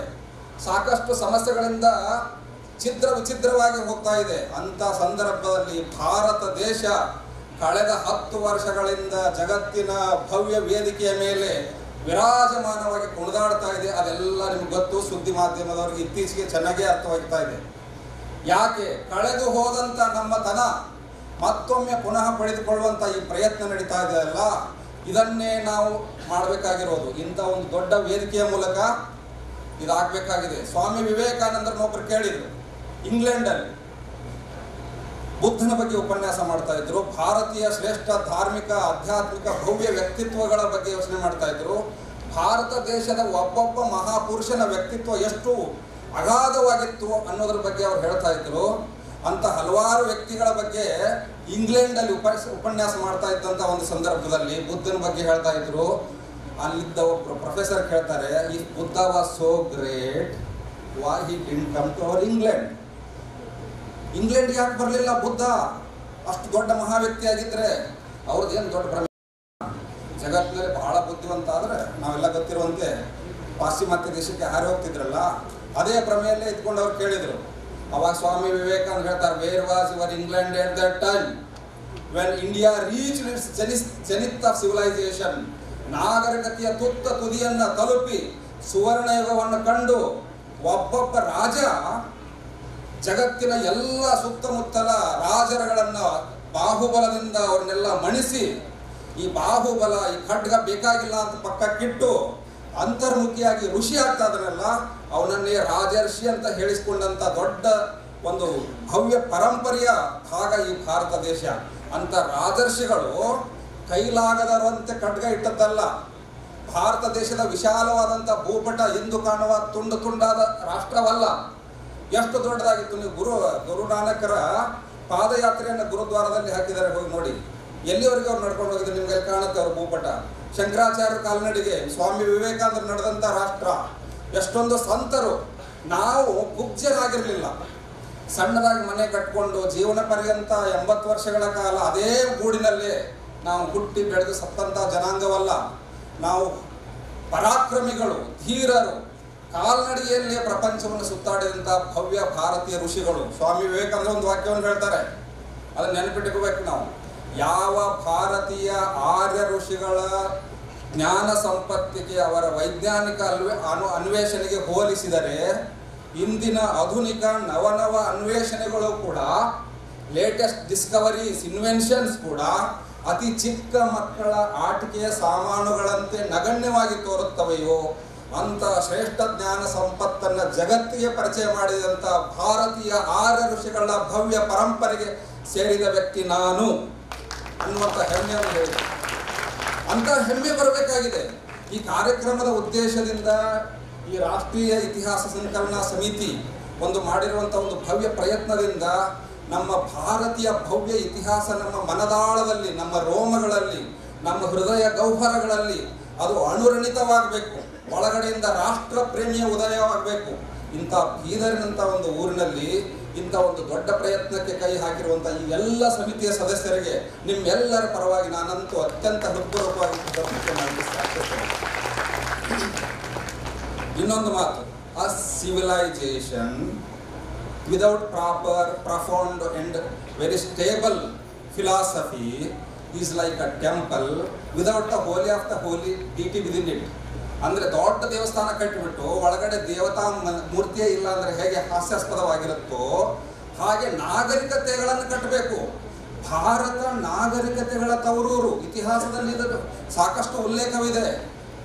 ಇನ್ನು ಮಾನವರು ಮೃಗಗಳಾಗಿದ್ದಾಗಲೇ ಇಲ್ಲಿ ಇತಿಹಾಸದಲ್ಲಿ ಬುದ್ಧನಂತ ಜ್ಞಾನಿಗಳಂತ ನಾಲ್ಕು ವೇದಗಳು ಷಡ್ದರ್ಶನಗಳು, ಕಾವ್ಯಗಳು ಉಪನಿಷತ್ತುಗಳು ಹಿಮಾಲಯದಷ್ಟು ಎತ್ತರದ ಜ್ಞಾನ ರಾಶಿಯನ್ನು ಸೃಷ್ಟಿಸಿದಂಥ ಭಾರತ ಇದು. ಹಿಮಾಲಯದಷ್ಟು ಎತ್ತರ ಜ್ಞಾನ ರಾಶಿ ಇಲ್ಲಿ ಸಂಪತ್ತು, ಈಗ ಕಬ್ಬಿಣವನ್ನು ಬಳಸ್ತಾ ಇದ್ದೇವಲ್ಲ, ಅಷ್ಟೇ ಸುಲಭವಾಗಿ ಸುವರ್ಣ ಯುಗವನ್ನು ಕಂಡಂಥ ಭಾರತ ಇದು. ಆದರೆ ಇವತ್ತು ಸಾವಿರಾರು ವರ್ಷಗಳ ದಬ್ಬಾಳಕೆಗೆ ತುತ್ತಾಗಿ ಸ್ವಲ್ಪ ವೀಕ್ ಆಗಿತ್ತು. ಕಳೆದ ಹತ್ತು ವರ್ಷದಿಂದ ಮತ್ತೊಮ್ಮೆ ತನ್ನ ಪುನರುಜ್ಜೀವನವನ್ನು ಕಂಡು ಮತ್ತೊಮ್ಮೆ ಭವ್ಯ ಭಾರತ ವಿರಾಜಮಾನವಾಗಿ ತನ್ನ ರತ್ನ ಖಚಿತವಾದ ಸಿಂಹಾಸನದಲ್ಲಿ ಕುಳಿತುಕೊಳ್ಳೋದನ್ನ ನಾವು ನೋಡ್ತಾ ಇದ್ದೇವೆ. ಭವ್ಯ ವೇದಿಕೆಯಲ್ಲಿ ಅದನ್ನು ಕಾಣ್ತಾ ಇದ್ದೇವೆ. ಕುರುಡರು ನೋಡ್ತಾ ಇದ್ದಾರೆ.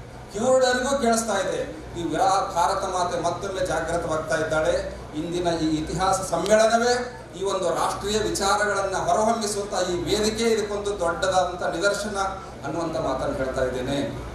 ಆತ್ಮೀಯರೇ, ಸ್ವಾಮಿ ವಿವೇಕಾನಂದರು ಅದನ್ನೇ ಹೇಳಿದರು. We are blindly imitating west ಅವ್ರು ಹೇಳಿದ್ರು O Indians with this blind imitation of foreigners with this blind dependence on foreigners this slave like weakness this cowardice do you wish to achieve that great height give up this awful disease that is creeping into our national blood the idea of ridiculing everything ಎಲ್ಲವನ್ನು ಹಾಸ್ಯಾಸ್ಪದ ಮಾಡ್ತೀವಿ ನಮ್ದು? ಪ್ರಯೋಜನ ಇಲ್ಲ. Important ಆ? Best ಈ ಭ್ರಮೆಯಲ್ಲಿದೆ ನಾವು? Anything that of Indian origin, accept it blindly and then verify. Anything that of Western origin, first verified. Then if it is really worth, then accepted.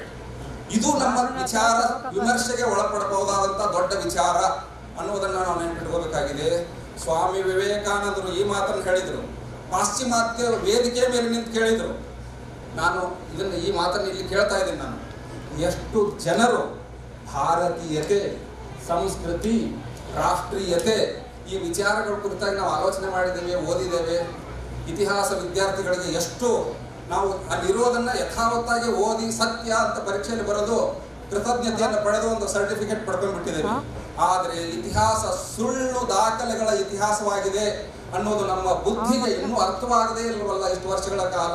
ಭ್ರಮಾತ್ಮಕ ಜೀವನದಲ್ಲಿ ಪಾಶ್ಚಿಮಾತ್ಯರು ಬರೆದಿಟ್ಟ ಅವರ ಪೊಲಿಟಿಕಲ್ ಅಜೆಂಡಾಗೆ ಕನ್ವೀನಿಯನ್ಸ್ಗೆ ಅವರ ಅವರೊಂದು ಅವರ ಅನುಕೂಲತೆಗೆ ಬರೆದಿಟ್ಟಿರುವಂತ ಇತಿಹಾಸವನ್ನು ಓದಿ ಮಕ್ಕಳಿಗೆ ಪಾಠ ಮಾಡಿ ಭ್ರಮಿತರಾಗಿ ಇಡೀ ದೇಶವೇ ಸಹಸ್ರಾರು ವರ್ಷಗಳ ಕಾಲ ಗುಲಾಮಗಿರಿಯಲ್ಲಿ ತೊಡಲ್ಬೇಕಾಯ್ತಲ್ಲ ಎಂತ ದುರಂತ? ಈ ಇತಿಹಾಸ ಪ್ರಜ್ಞೆ ನಮಗಿದ್ದಿದ್ರೆ ನಮ್ಮಲ್ಲಿ ರಾಷ್ಟ್ರೀಯತೆ ನಮ್ಮಲ್ಲಿ ನಮ್ಮ ಸಂಸ್ಕೃತಿ ಬಗ್ಗೆ ಹೆಮ್ಮೆ ಇದ್ದಿದ್ರೆ ಅದು ಹೀಗೆ ಆಗ್ತಿರ್ಲಿಲ್ಲ. ಸ್ವಾಮಿ ವಿವೇಕಾನಂದರು ಆ ಪ್ರಶ್ನೆ ಕೇಳ್ತಾರೆ, ನಿಮ್ಮಲ್ಲಿ ಎಷ್ಟು ಜನರು ಹಿಂದೂ ಧರ್ಮ ಬಗ್ಗೆ ಗೊತ್ತಿದೆ? ಹಿಂದೂ ಧರ್ಮ ಗೊಂದಲಗಳ ಗೋಪುರದಂತೆ ಕಾಣ್ತಾ ಇದೆ, ಆದ್ರೆ ನಿಮಗೆ ಅಜ್ಞಾನದಿಂದ ಕಾಣ್ತಾ ಇದೆ. Most scientific eternal religion is Hinduism ಅಂತ ಸ್ವಾಮಿ ವಿವೇಕಾನಂದರು ಪ್ರೂವ್ ಮಾಡಿ ತೋರಿಸಿದ್ರು. ಅಲ್ಲಿ ಹೇಳ್ತಾರ. ಸ್ವಾಮಿ ವಿವೇಕಾನಂದರ ಮಾತುಗಳನ್ನ ಕೇಳ್ತಾ ಇದ್ದಂತ ವ್ಯಕ್ತಿಗಳಿಗೆ ಅನಿಸ್ತು the monk of commanding presence vast learning speaking English like Webster's or any other dictionary ಅವ್ರು ವೆಬ್ಸ್ಟರ್ಸ್ ಗೊತ್ತಿತ್ತು ಅನ್ಸುತ್ತೆ ಅವ್ರಿಗೆ. Webster's Webster's dictionary speaking English like Webster's specimen from unsaved country who knew more philosophy and religion than all the Christ missionaries in the western country and western western universities ಪಾಶ್ಚಿಮಾತ್ಯ ದೇಶಗಳಲ್ಲಿ ಬುದ್ಧಿವಂತರು ಅಂದ್ಕೊಂಡು ಮೆರೆದಾಡ್ತಾ ಇದ್ದಂಥ ಎಲ್ಲ ಮಕ್ಕಳನ್ನ ಕೂಡಿಸ್ಕೊಂಡು ಎಲ್ ಕೆ ಜಿಯ ಮಕ್ಕಳಂತೆ ಅವರಿಗೆ ತಿಳಿ ಹೇಳಿ ಭಾರತೀಯ ಸಂಸ್ಕೃತಿಯ ಹಿರಿಮೆ ಗರಿಮೆಯನ್ನ ಜಗತ್ತಿಗೆ ಸಾರಿದಂತ ಸ್ವಾಮಿ ವಿವೇಕಾನಂದರ ಒಂದು ದೇಶಕ್ಕೆ ಸೇರಿದಂತವರು ನಾವು ಅನ್ನುವಂಥ ಹೆಮ್ಮೆ ನಮ್ಗಿರಬೇಕಾಗಿದೆ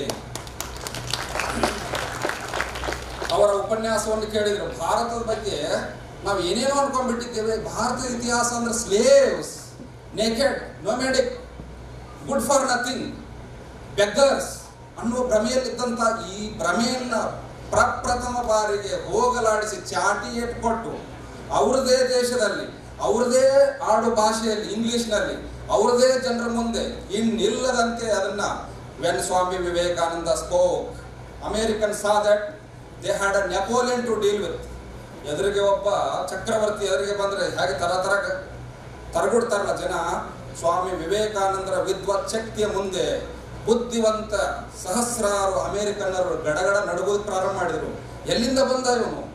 ನಾವು ಯಾವ ದೇಶದ ಬಗ್ಗೆ ಏನೋ ಹುಟ್ಟುತ್ತಾನೆ, ಪಾತ್ರೆಗಳಿಂದ ಕಟ್ಟುಕತೆಗಳನ್ನು ಕೇಳ್ಕೊಂಡು ಹುಟ್ಟಿದ್ದೀವಲ್ಲ, ಆ ದೇಶದಿಂದ ಈ ವ್ಯಕ್ತಿ ಬಂದ. ಅಂಥವ್ರಿಗೆ ಆಶ್ಚರ್ಯವಾಯಿತು, ನಂಬೋದಕ್ಕೆ ಸಾಧ್ಯವಾಗಲಿಲ್ಲ. ಇಂಥ ಇಂಥ ವ್ಯಕ್ತಿಗಳು ನಿಮ್ಮ ದೇಶದಲ್ಲಿದ್ರೆ ದಯವಿಟ್ಟು ಕಳಿಸ್ಕೊಡಿ ಅಂತ ಅಲ್ಲಿ ಜನ ಕೇಳೋದು ಪ್ರಾರಂಭ ಮಾಡಿದರು.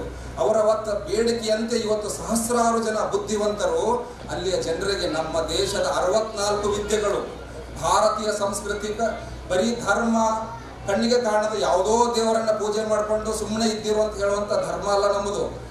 ಜಗತ್ತಿನ ಮಾನವ ಜನಾಂಗದ ಅಭಿವೃದ್ಧಿಗೆ, ಕಲ್ಯಾಣಕ್ಕೆ, ಮಂಗಳಕ್ಕೆ ಬೇಕಾಗುವಂತ ಸರ್ವ ವಿದ್ಯೆಗಳ ತವರೂರು, ನಾಗರಿಕತೆಯ ತವರೂರು ನಮ್ಮ ದೇಶ ಅನ್ನುವಂಥದ್ದನ್ನು ನಾವು ನೆನಪಿಟ್ಕೋಬೇಕು ಇತಿಹಾಸ, ಇತಿಹಾಸದ ವಿದ್ಯಾರ್ಥಿಗಳು.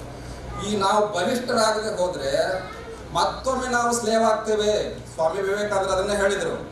ನಾವು ಈಗ ಒಂದು ಉದಾಹರಣೆ ಕೊಟ್ಟರು ಅವರು. ಒಂದು ಮಲಗಿರುವ ಸಿಂಹ ಇದೆ ಎದ್ದಿರುವ ನಾಯಿ ಮರಿ ಇದೆ. ಯಾವುದು ಬಲಿಷ್ಠ? ಈಗ ಮಲಗಿರುವ ಸಿಂಹ ಬಲಿಷ್ಠವೋ ಎದ್ದಿರುವಂತ ನಾಯಿ ಬಲಿಷ್ಠವೋ, ಈ ಜಗತ್ತಿನಲ್ಲಿ, ಇತಿಹಾಸದಲ್ಲಿ ಇಷ್ಟೇ ಆಗಿರುವುದು. ಎದ್ದಿರುವ ನಾಯಿ ಬಲಿಷ್ಠವಾಗಿ ಕಾಣ್ತಾ ಇದೆ. ಮಲಗಿರುವ ಸಿಂಹ ದುರ್ಬಲತೆ ಅಂತ ಕಾಣ್ತಾ ಇದೆ. ಸಿಂಹ ಎದ್ರೆ ಏನಾಗುತ್ತೆ? ಅದು ಈ ಹತ್ತು ವರ್ಷಗಳಿಂದ ಆಗ್ತಾ ಇದೆ. ಸಿಂಹ ಎದ್ದಿದೆ. ನಾವು ಬಲಿಷ್ಠರಾಗ್ತಾ ಇದ್ದೇವೆ. ಇಷ್ಟ ಉದಾಹರಣೆ. when Swami Vivek, he literally radiated spirituality, an atmosphere of benediction, of peace, of power, of inexpressible luminosity was felt by one and all who came to his speeches. This is the man, and this is the philosophy that we have been seeking in vain all through our life. Finally, we got it in the form of Swami Vivekananda as a great intellectual giant, philosopher, and in the form of eternal religion, Hinduism. ಇದರ ಮೂಲಕ six ಇಂಥ ಅದ್ಭುತವಾದ ವಿಚಾರಗಳನ್ನು ನಮ್ಮ ನಾವು ಯಾಕೆ ಇಷ್ಟು ಭ್ರಮ, ಸ್ವಾಮಿ ವಿವೇಕಾನಂದ ಒಂದು ಕಥೆಯನ್ನು ಹೇಳ್ತಾರೆ. ಆ ಕಥೆ ಹೇಳಿದ್ರೆ ನಿಮ್ಗೆ ಬಹುಶಃ ಅರ್ಥವಾಗುತ್ತೆ. ಎರಡನೇ ವಾಕ್ಯದಲ್ಲಿ, ಮೂರನೇ ವಾಕ್ಯದಲ್ಲಿ ಆ ಕಥೆ ಹೇಳೋದು ಮುಗಿಸ್ತೇನೆ. ಒಂದು ಹುಲಿ ಇತ್ತು, ಅದರ ಅದರ ಗರ್ಭ, ಗರ್ಭಿಣಿಯಾಗಿದ್ದ ಆ ಹುಲಿ ಎಲ್ಲಿಂದ ಧುಮುಕ್ತಾ ಹೋಗಿ ಸತ್ತು ಹೋಗ್ಬಿಡ್ತು ಮರಿ ಹೊರಗಡೆ ಬಂತು, ಮರಿ ಕುರಿಗಳ ಜೊತೆಗೆ ಬೆಳೀತು. ಯಾವುದು? ಹುಲಿ ಮರಿ ಹುಲಿ ಮರಿ ಕುರಿಗಳ ಜೊತೆಗೆ ಬೆಳೆದು ಬ್ಯಾಂತು, ಹುಲ್ ತಿಂತು, ಕಿರ್ಚಾಡ್ತು, ಅದು ಹುಲಿನೇ ಹುಲಿ ಅನ್ನೋದು ಮರ್ತ ಹೋಗ್ಬಿಟ್ಟು ಕುರಿಗಳಂತೆ ಭ್ರಮಿತವಾಯ್ತು. ಆದ್ರೆ ಒಂದು ಹುಲಿ ಬಂತು, ನೋಡಿತು, ಕುರಿಗಳ ಮಧ್ಯದಲ್ಲಿ ನನ್ನಂಥದ್ದೇ ಒಂದು ಹುಲಿ ಇದೆಯಲ್ಲ ಅಂತ ಆಲೋಚನೆ ಮಾಡಿತು. ಅದ್ರ ಹತ್ತಿರ ಹೋಗಿ ಕತ್ ಹಿಡಿದು, ಏ, ನೀನು ಕುರಿ ಅಲ್ಲ, ನೀನು ಹುಲಿ, ನೋಡು ನನ್ನ ತರ ಗರ್ಜನೆ ಮಾಡು ಪಾನನ ನನ್ನ ಜೊತೆಗೆ, ಅಂತ ಹೇಳ್ತು. ಆದ್ರೂ ಅದು ಕುರಿಗಳ ಜೊತೆ ಬೆಳೆದು ಬಿಟ್ಟಿತ್ತಲ್ಲ ಭ್ರಮೆಗೀಡಾಗ್ಬಿಟ್ಟಿತ್ತು. ಅಯ್ಯೋ, ನನಗೆ ಅನ್ನೋದು ಅಷ್ಟೇ ಗೊತ್ತು ಹುಲ್ ತಿನ್ನೋದು ಅಷ್ಟೇ ಗೊತ್ತು, ಕೆಳಗೆ ಮುಂದೆ ಹಾಕೊಂಡು ಹೋಗೋದು ಅಷ್ಟೇ ಗೊತ್ತು. ಪ್ರಾಣಿಗಳ ಅವ ಅವಹೇಳನ ಅಲ್ಲ. ಹೇಗೆ ನಾವು ಭ್ರಮಿ ಡೆಲ್ಯೂಷನ್ ಹಲುಸಿನೇಷನ್ ಇಲ್ಯೂಷನ್ ಹೇಗೆ ಒಳಗಾಗ್ತಾ ಇದ್ದೇವೆ ಮಾನವ ಜನಾಂಗ? ಅನ್ನೋದು ನಿಮ್ಗೆ ಹೇಳೋದಕ್ಕೆ ನಾನು ಹೇಳ್ತಾ ಇದ್ದೇನೆ. ಹಲುಸಿನೇಷನ್ ಇದೊಂದು ಗ್ರೇಟ್ ಡೆಲ್ಯೂಷನ್ ಅಂತ ಹೇಳ್ತಾರಲ್ಲ. ನಾವು ಭ್ರಮ, ಭ್ರಮಿತರಾಗ್ತಾ ಇದ್ದೇವೆ ಇಲ್ಯೂಷನ್ ಒಳಗಾಗ್ತಾ ಇದ್ದೇವೆ. ಒಂದು ಯಾವುದೋ ಸತ್ಯ ಇದೆ, ಅದು ಸತ್ಯ ನೇರವಾಗಿ ಕಾಣ್ತಾ ಇಲ್ಲ, ಇನ್ನೊಂದು ಅಸತ್ಯ, ಮತ್ತೊಂದು ಅಸತ್ಯವನ್ನೇ ಸತ್ಯ ಅಂತ ನಾವು ಭ್ರಮಿಸ್ತಾ ಇದ್ದೇವೆ. ಇಂಥ ಒಂದು ದೊಡ್ಡ ಇತಿಹಾಸದಲ್ಲಿ ಕರಾಳ ಅಧ್ಯಾಯ ಆಗೋಗ್ಬಿಟ್ಟಿದೆ. ಇತಿಹಾಸದ ವಿದ್ಯಾರ್ಥಿಗಳು ನಾವು ಹೆಮ್ಮೆಯಿಂದ ಓದಬೇಕು. ಹಾಗಾದ್ರೆ ನಮ್ಮ ಇತಿಹಾಸದಲ್ಲಿ ಎಲ್ಲವೂ ಸರಿ ಇತ್ತು, ನಾವು ತಪ್ಪು ಮಾಡಲಿಲ್ವ ಅಂತಲ್ಲ? ನಾನು ಇನ್ನೂ ಒಂದು ಮಾತನ್ನು ಧೈರ್ಯವಾಗಿ ಹೇಳ್ತೇನೆ. ಹಿಂದೂಗಳ ಶತ್ರುಗಳು ಯಾರು ಅಂತ ಕೇಳಿದ್ರೆ ಹಿಂದೂಗಳೇ. ಬೇರೆ ಯಾರು ಅಲ್ಲ. ಹಿಂದೂಗಳ ಶತ್ರುಗಳು ಯಾರು? ಹಿಂದೂಗಳೇ. ನಮ್ಮ ಅವನತಿಗೆ ಕಾರಣ ಯಾರು? ಯಾರ್ಯಾರಲ್ಲ ಯಾರಲ್ಲ ಅವ್ರು ಇಪ್ಪತ್ತು ಜನ ಬಂದ್ರು ದರೋಡೆಕೋರರು ದೋಣಿ ಮೇಲೆ ಬಂದ್ರು, ಸೋಮನಾಥ್ ದೇವರದಲ್ಲಿ ದರೋಡೆ ಮಾಡಿದ್ರು, ಎತ್ಕೊಂಡು ಹೋದ್ರು. ನಾನು ನಿದ್ದೆ ಮಾಡ್ತಾ ಇದ್ದೀವ. ಒಂದು ಸಣ್ಣ ಯುಕ್ರೇನ್ ಇವತ್ತು ಎಂಟು ತಿಂಗಳಿಂದ ಬಲಾಢ್ಯ ರಷ್ಯಾ ಜೊತೆ ಯುದ್ಧ ಮಾಡ್ತಾ ಇದೆ. ನಮಗೇನಾಗಿತ್ತು? ನಾವೆಲ್ಲ ಸಣ್ಣರಾಗಿದ್ದೀವಿ ಕುಬ್ಜರಾಗಿದ್ದೀವಿ ಕ್ಲೈಬ್ಯತೆ ನಮ್ಮ ಒಳಗಡೆ ಸೇರಿ ಕ್ಲೈಬ್ಯಮ್ಮ ತಸ್ಮಾತ್ ಉತ್ತಿಷ್ಟ ಕೌಂತೇಯ ಯುದ್ಧಾಯ ಕೃತ ನಿಶ್ಚಯ ಅಂತ ಹೇಳಿದ ಕೃಷ್ಣ ಪರಮಾತ್ಮ ಸಂದೇಶವನ್ನು ಮರೆತು ಬಿಟ್ಟಿವಿ ಒಂದು ಕೆನ್ನೆ ಕೊಟ್ರಿ, ಇನ್ನೊಂದು ಕೆನ್ನೆ ತೋರಿಸು ಅಂತ ಕ್ರಿಸ್ತನ್ ಸಂದೇಶವನ್ನು ನೆನಪಿಟ್ಕೊಂಡು ಅವರು ಅದನ್ನು ಫಾಲೋ ಮಾಡಿದ್ರು, ನಾವು ಇದನ್ನು ಫಾಲೋ ಮಾಡಿದ್ದೀವಿ ಅವ್ರು ಬರಬೇಕಾದ ದುರ್ದೇಶತೆ ನಮಗೆ ಬಂದ್ಬಿಡ್ತು.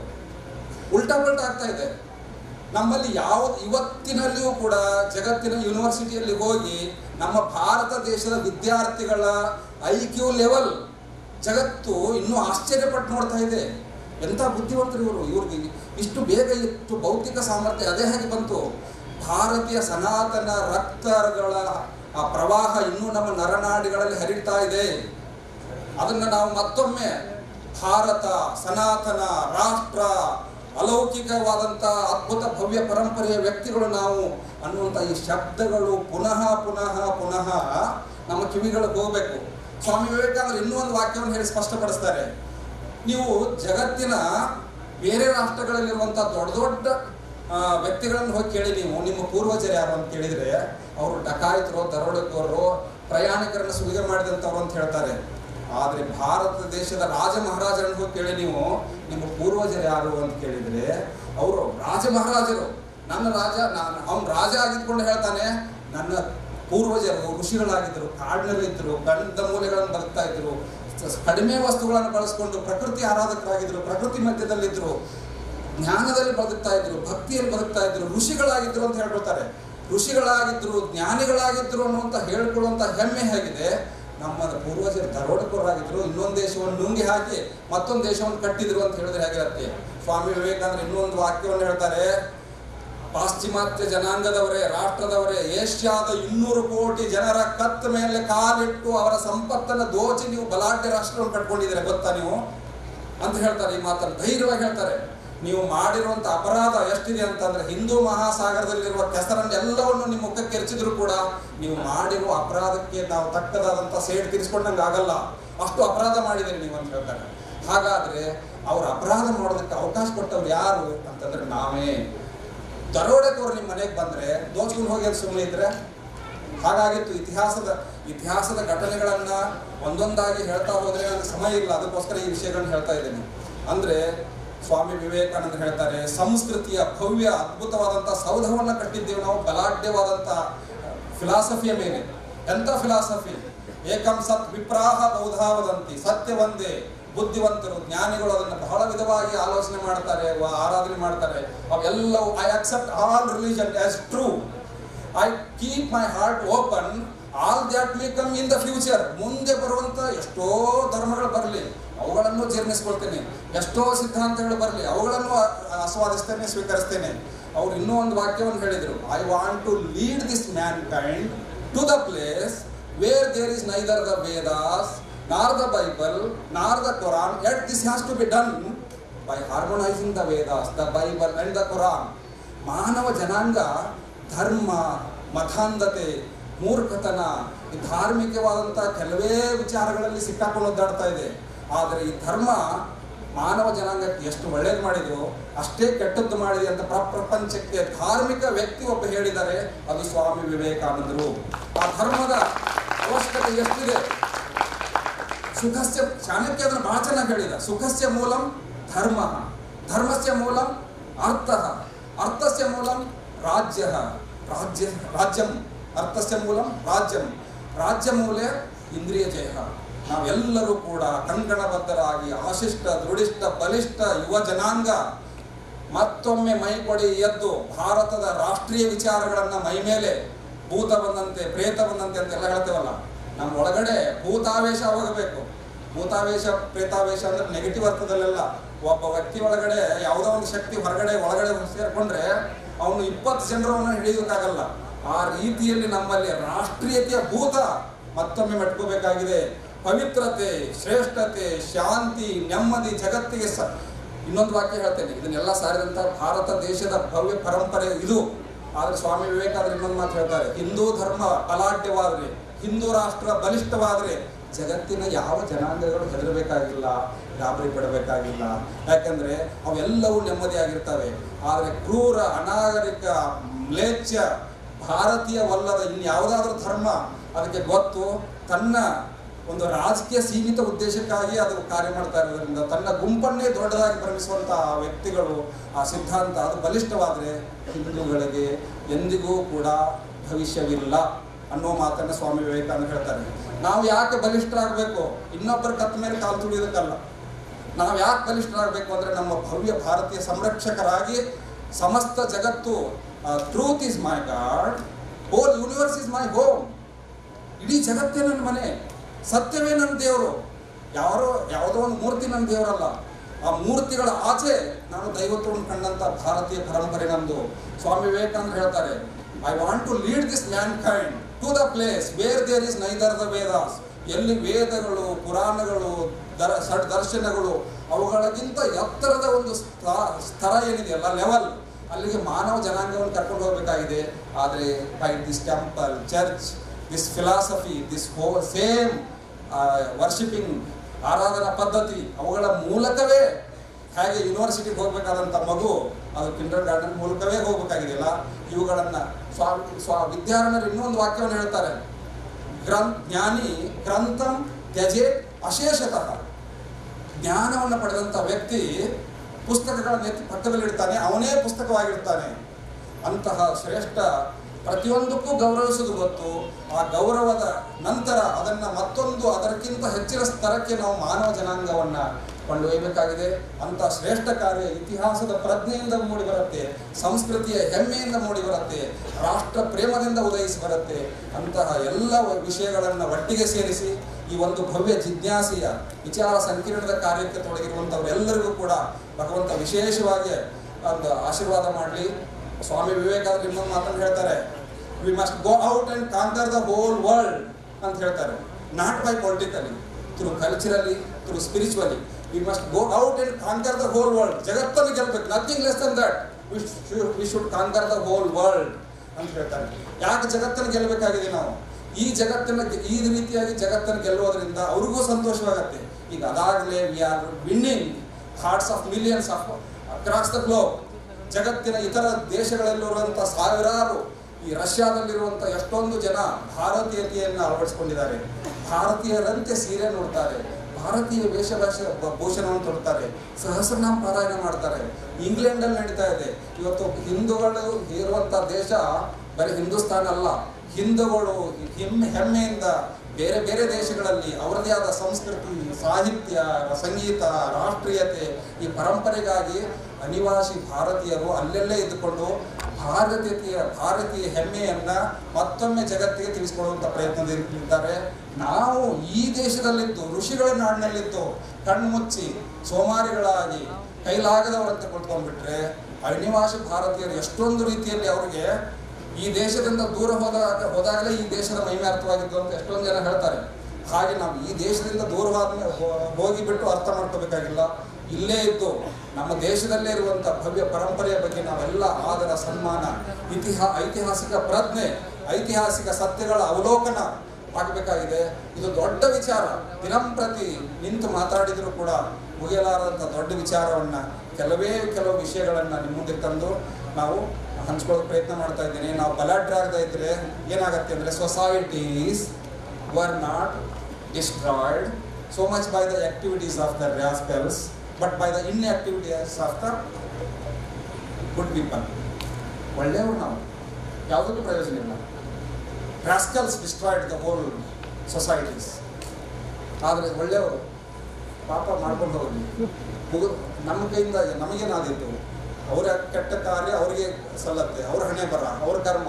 ಈ ಎಲ್ಲ ಪದಗಳನ್ನು ದುರ್ಬಳಕೆ ಮಾಡಿಕೊಂಡು ಕೈಲಾಗದವರಂತೆ ನಾವು ಕುತ್ಕೊಂಡಿದ್ದರಿಂದಲೇ ನಮ್ಮ ದೇಶ ಅವನತಿಗಾಯಿತು ವ್ಯಕ್ತಿ ವೀರಭದ್ರನಾದರೆ ಸಮಾಜ ಸುಭದ್ರ.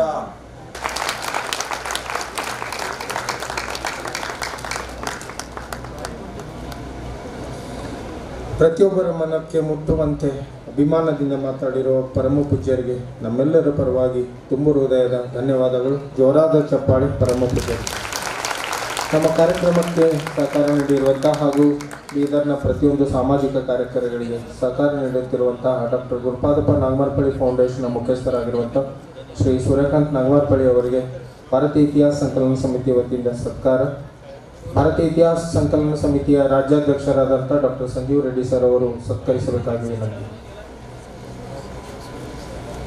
ಜೊತೆಗೆ ರಾಜ್ಯ ಕಾರ್ಯದರ್ಶಿ ಕೃಷ್ಣಮೂರ್ತಿ ಸರ್ ಅವರು ಹಾಗೂ ಡಾಕ್ಟರ್ ಶಿವಕುಮಾರ್ ಉಪ್ಪೆ ಸರ್ ಅವರು ಕೈ ಜೋಡಿಸಬೇಕು ಶ್ರೀ ಸೂರ್ಯಕಾಂತ್ ಅವರು ತಾವೆಲ್ಲ ನೋಡಿದಂತೆ ಬೀದರ್ಗೆ ಆಗಮಿಸುವ ಪ್ರತಿಯೊಬ್ಬ ಆಹ್ವಾನಿತರಿಗೆ, ಅತಿಥಿಗಳಿಗೆ ನಾವು ಕಾಣಿಕೆ ರೂಪದಲ್ಲಿ ಕೊಡೆ ಮಾಡಿದಂತಹ ಬಸವಣ್ಣನವರ ಕಿದ್ರಿ ಸ್ವರೂಪದ ಈ ಕಾಣಿಕೆಯನ್ನು ಡಾಕ್ಟರ್ ಗುರುಪಾದಪ್ಪ ನಾಗಮರ್ಪಡಿ ಫೌಂಡೇಶನ್ ವತಿಯಿಂದ ಕೊಡುಗೆಯಾಗಿ ನೀಡಿದ್ದಾರೆ. ಅದಕ್ಕಾಗಿ ಶ್ರೀ ಸೂರ್ಯಕಾಂತ್ ನಾಗಮರ್ಪಡಿ ಅವರಿಗೆ ಜೀವನದ ಯಶಸ್ಸು ಆಗಲಿ ಎಂದು ಹಾರೈಸಿ ಸರ್ವರ ಪರವಾಗಿ ಈ ಸಂದರ್ಭದಲ್ಲಿ ಸತ್ಕಾರ. ಪರಮ ಪೂಜ್ಯ ಸ್ವಾಮೀಜಿ ಜ್ಯೋತಿರ್ಭಯಾನಂದಜಿ ಮಹಾರಾಜ್ ಅವರು ಭಾರತ ಇತಿಹಾಸ ಸಂಕಲನ ಸಮಿತಿಯ ಪರವಾಗಿ ಶ್ರೀ ಸೂರ್ಯಕಾಂತ್ ನಾಗಮರ್ಪಡೆ ಅವರಿಗೆ ಗೌರವವಾಗಿ ಸತ್ಕರಿಸುತ್ತಿದ್ದಾರೆ ಪರಮ ಪೂಜ್ಯ ಸ್ವಾಮೀಜಿ, ಅಭಯಾನಂದಜಿ ಮಹಾರಾಜ್ ಅವರವರು ಸಹ ಅವರಿಗೆ ಸಹಕರಿಸ್ತಾ ಇದ್ದಾರೆ. ಸಮಯದ ಒತ್ತಡ ಇದೆ. ಇನ್ನು ಎರಡು ಉಪನ್ಯಾಸಗಳಿದೆ. ಅದರಲ್ಲಿ ಅನಿವಾರ್ಯತೆ ಏನಂದರೆ ನಾವು ಎರಡು ಉಪನ್ಯಾಸಗಳನ್ನು ಸಮೀಕರಿಸಿ ನಡೆಸ್ತೇವೆ. ಎಲ್ಲರಲ್ಲಿ ಸವಿನಯ ಪ್ರಾರ್ಥನೆ ಏನೆಂದರೆ ಸರ್ವರಿಗೂ ಸಹ ಮಧ್ಯಾಹ್ನದ ಪ್ರಸಾದ ಊಟದ ವ್ಯವಸ್ಥೆ ಮಾಡಿದ್ದೇವೆ. ವೇದಿಕೆಯ ಎಡಭಾಗದಲ್ಲಿ ಎಲ್ರಿಗೂ ಹಿಂದ್ಗಡೆ ಊಟದ ವ್ಯವಸ್ಥೆ ಇರುತ್ತೆ. ಚೂರು ಸಹಕರಿಸಬೇಕು ಇವತ್ತ. ಈಗ ಪರಮ ಪೂಜ್ಯ ಜ್ಯೋತಿರ್ಮಯಜಿ ಸ್ವಾಮೀಜಿ ಅವರಿಂದ ನಮ್ಮೆಲ್ಲರನ್ನ ಕುರಿತು ಮಾತಾಡಬೇಕಾಗಿ ಮೊದಲು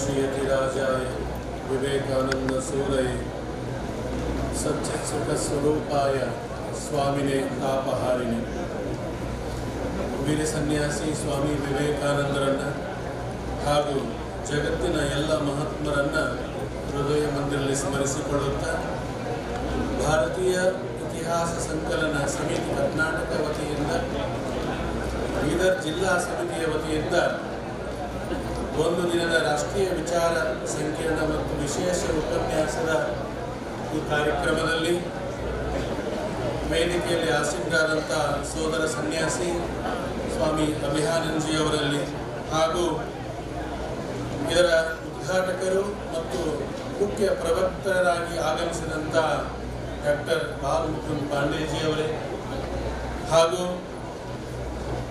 ಹೋರಾಟಗಾರರು ಇತಿಹಾಸಕಾರರು ಆದಂಥ ಶ್ರೀಯುತ ಸುಶೀಲ್ ಪಂಡಿತ್ಜಿ ಅವರೇ ಹಾಗೂ ವೇದಿಕೆಯಲ್ಲಿರ್ತಕ್ಕಂಥ ನಮ್ಮ ಜಿಲ್ಲೆಯ ಎಲ್ಲ ಹಿರಿಯರೇ ಹಾಗೂ ಈ ಸಮಿತಿಯ ಸರ್ವ ಸದಸ್ಯರೇ, ಆಸಕ್ತ ಬಂಧುಗಳೇ. ಅದಾಗಲೇ ಇತಿಹಾಸದ ಒಂದು ಪುಟಗಳನ್ನು ಇತಿಹಾಸದ ಭವ್ಯತೆಯನ್ನು ಸ್ವಾಮಿ ವಿವೇಕಾನಂದರ ದೃಷ್ಟಿಕೋನಗಳನ್ನು ಈರುವರ ಭಾಷಣಗಳಲ್ಲಿ ನಾವು ನೋಡಿದ್ದೇವೆ. ನನ್ನ ಒಂದು ಪ್ರಶ್ನೆ ಅಥವಾ ಒಂದು ಚಿಂತನೆ ಏನಂತಂದ್ರೆ ನನಗೆ ಯಾವಾಗಲೂ ಮನಸ್ಸಿಗೆ ಬರ್ತಾ ಇರುತ್ತೆ.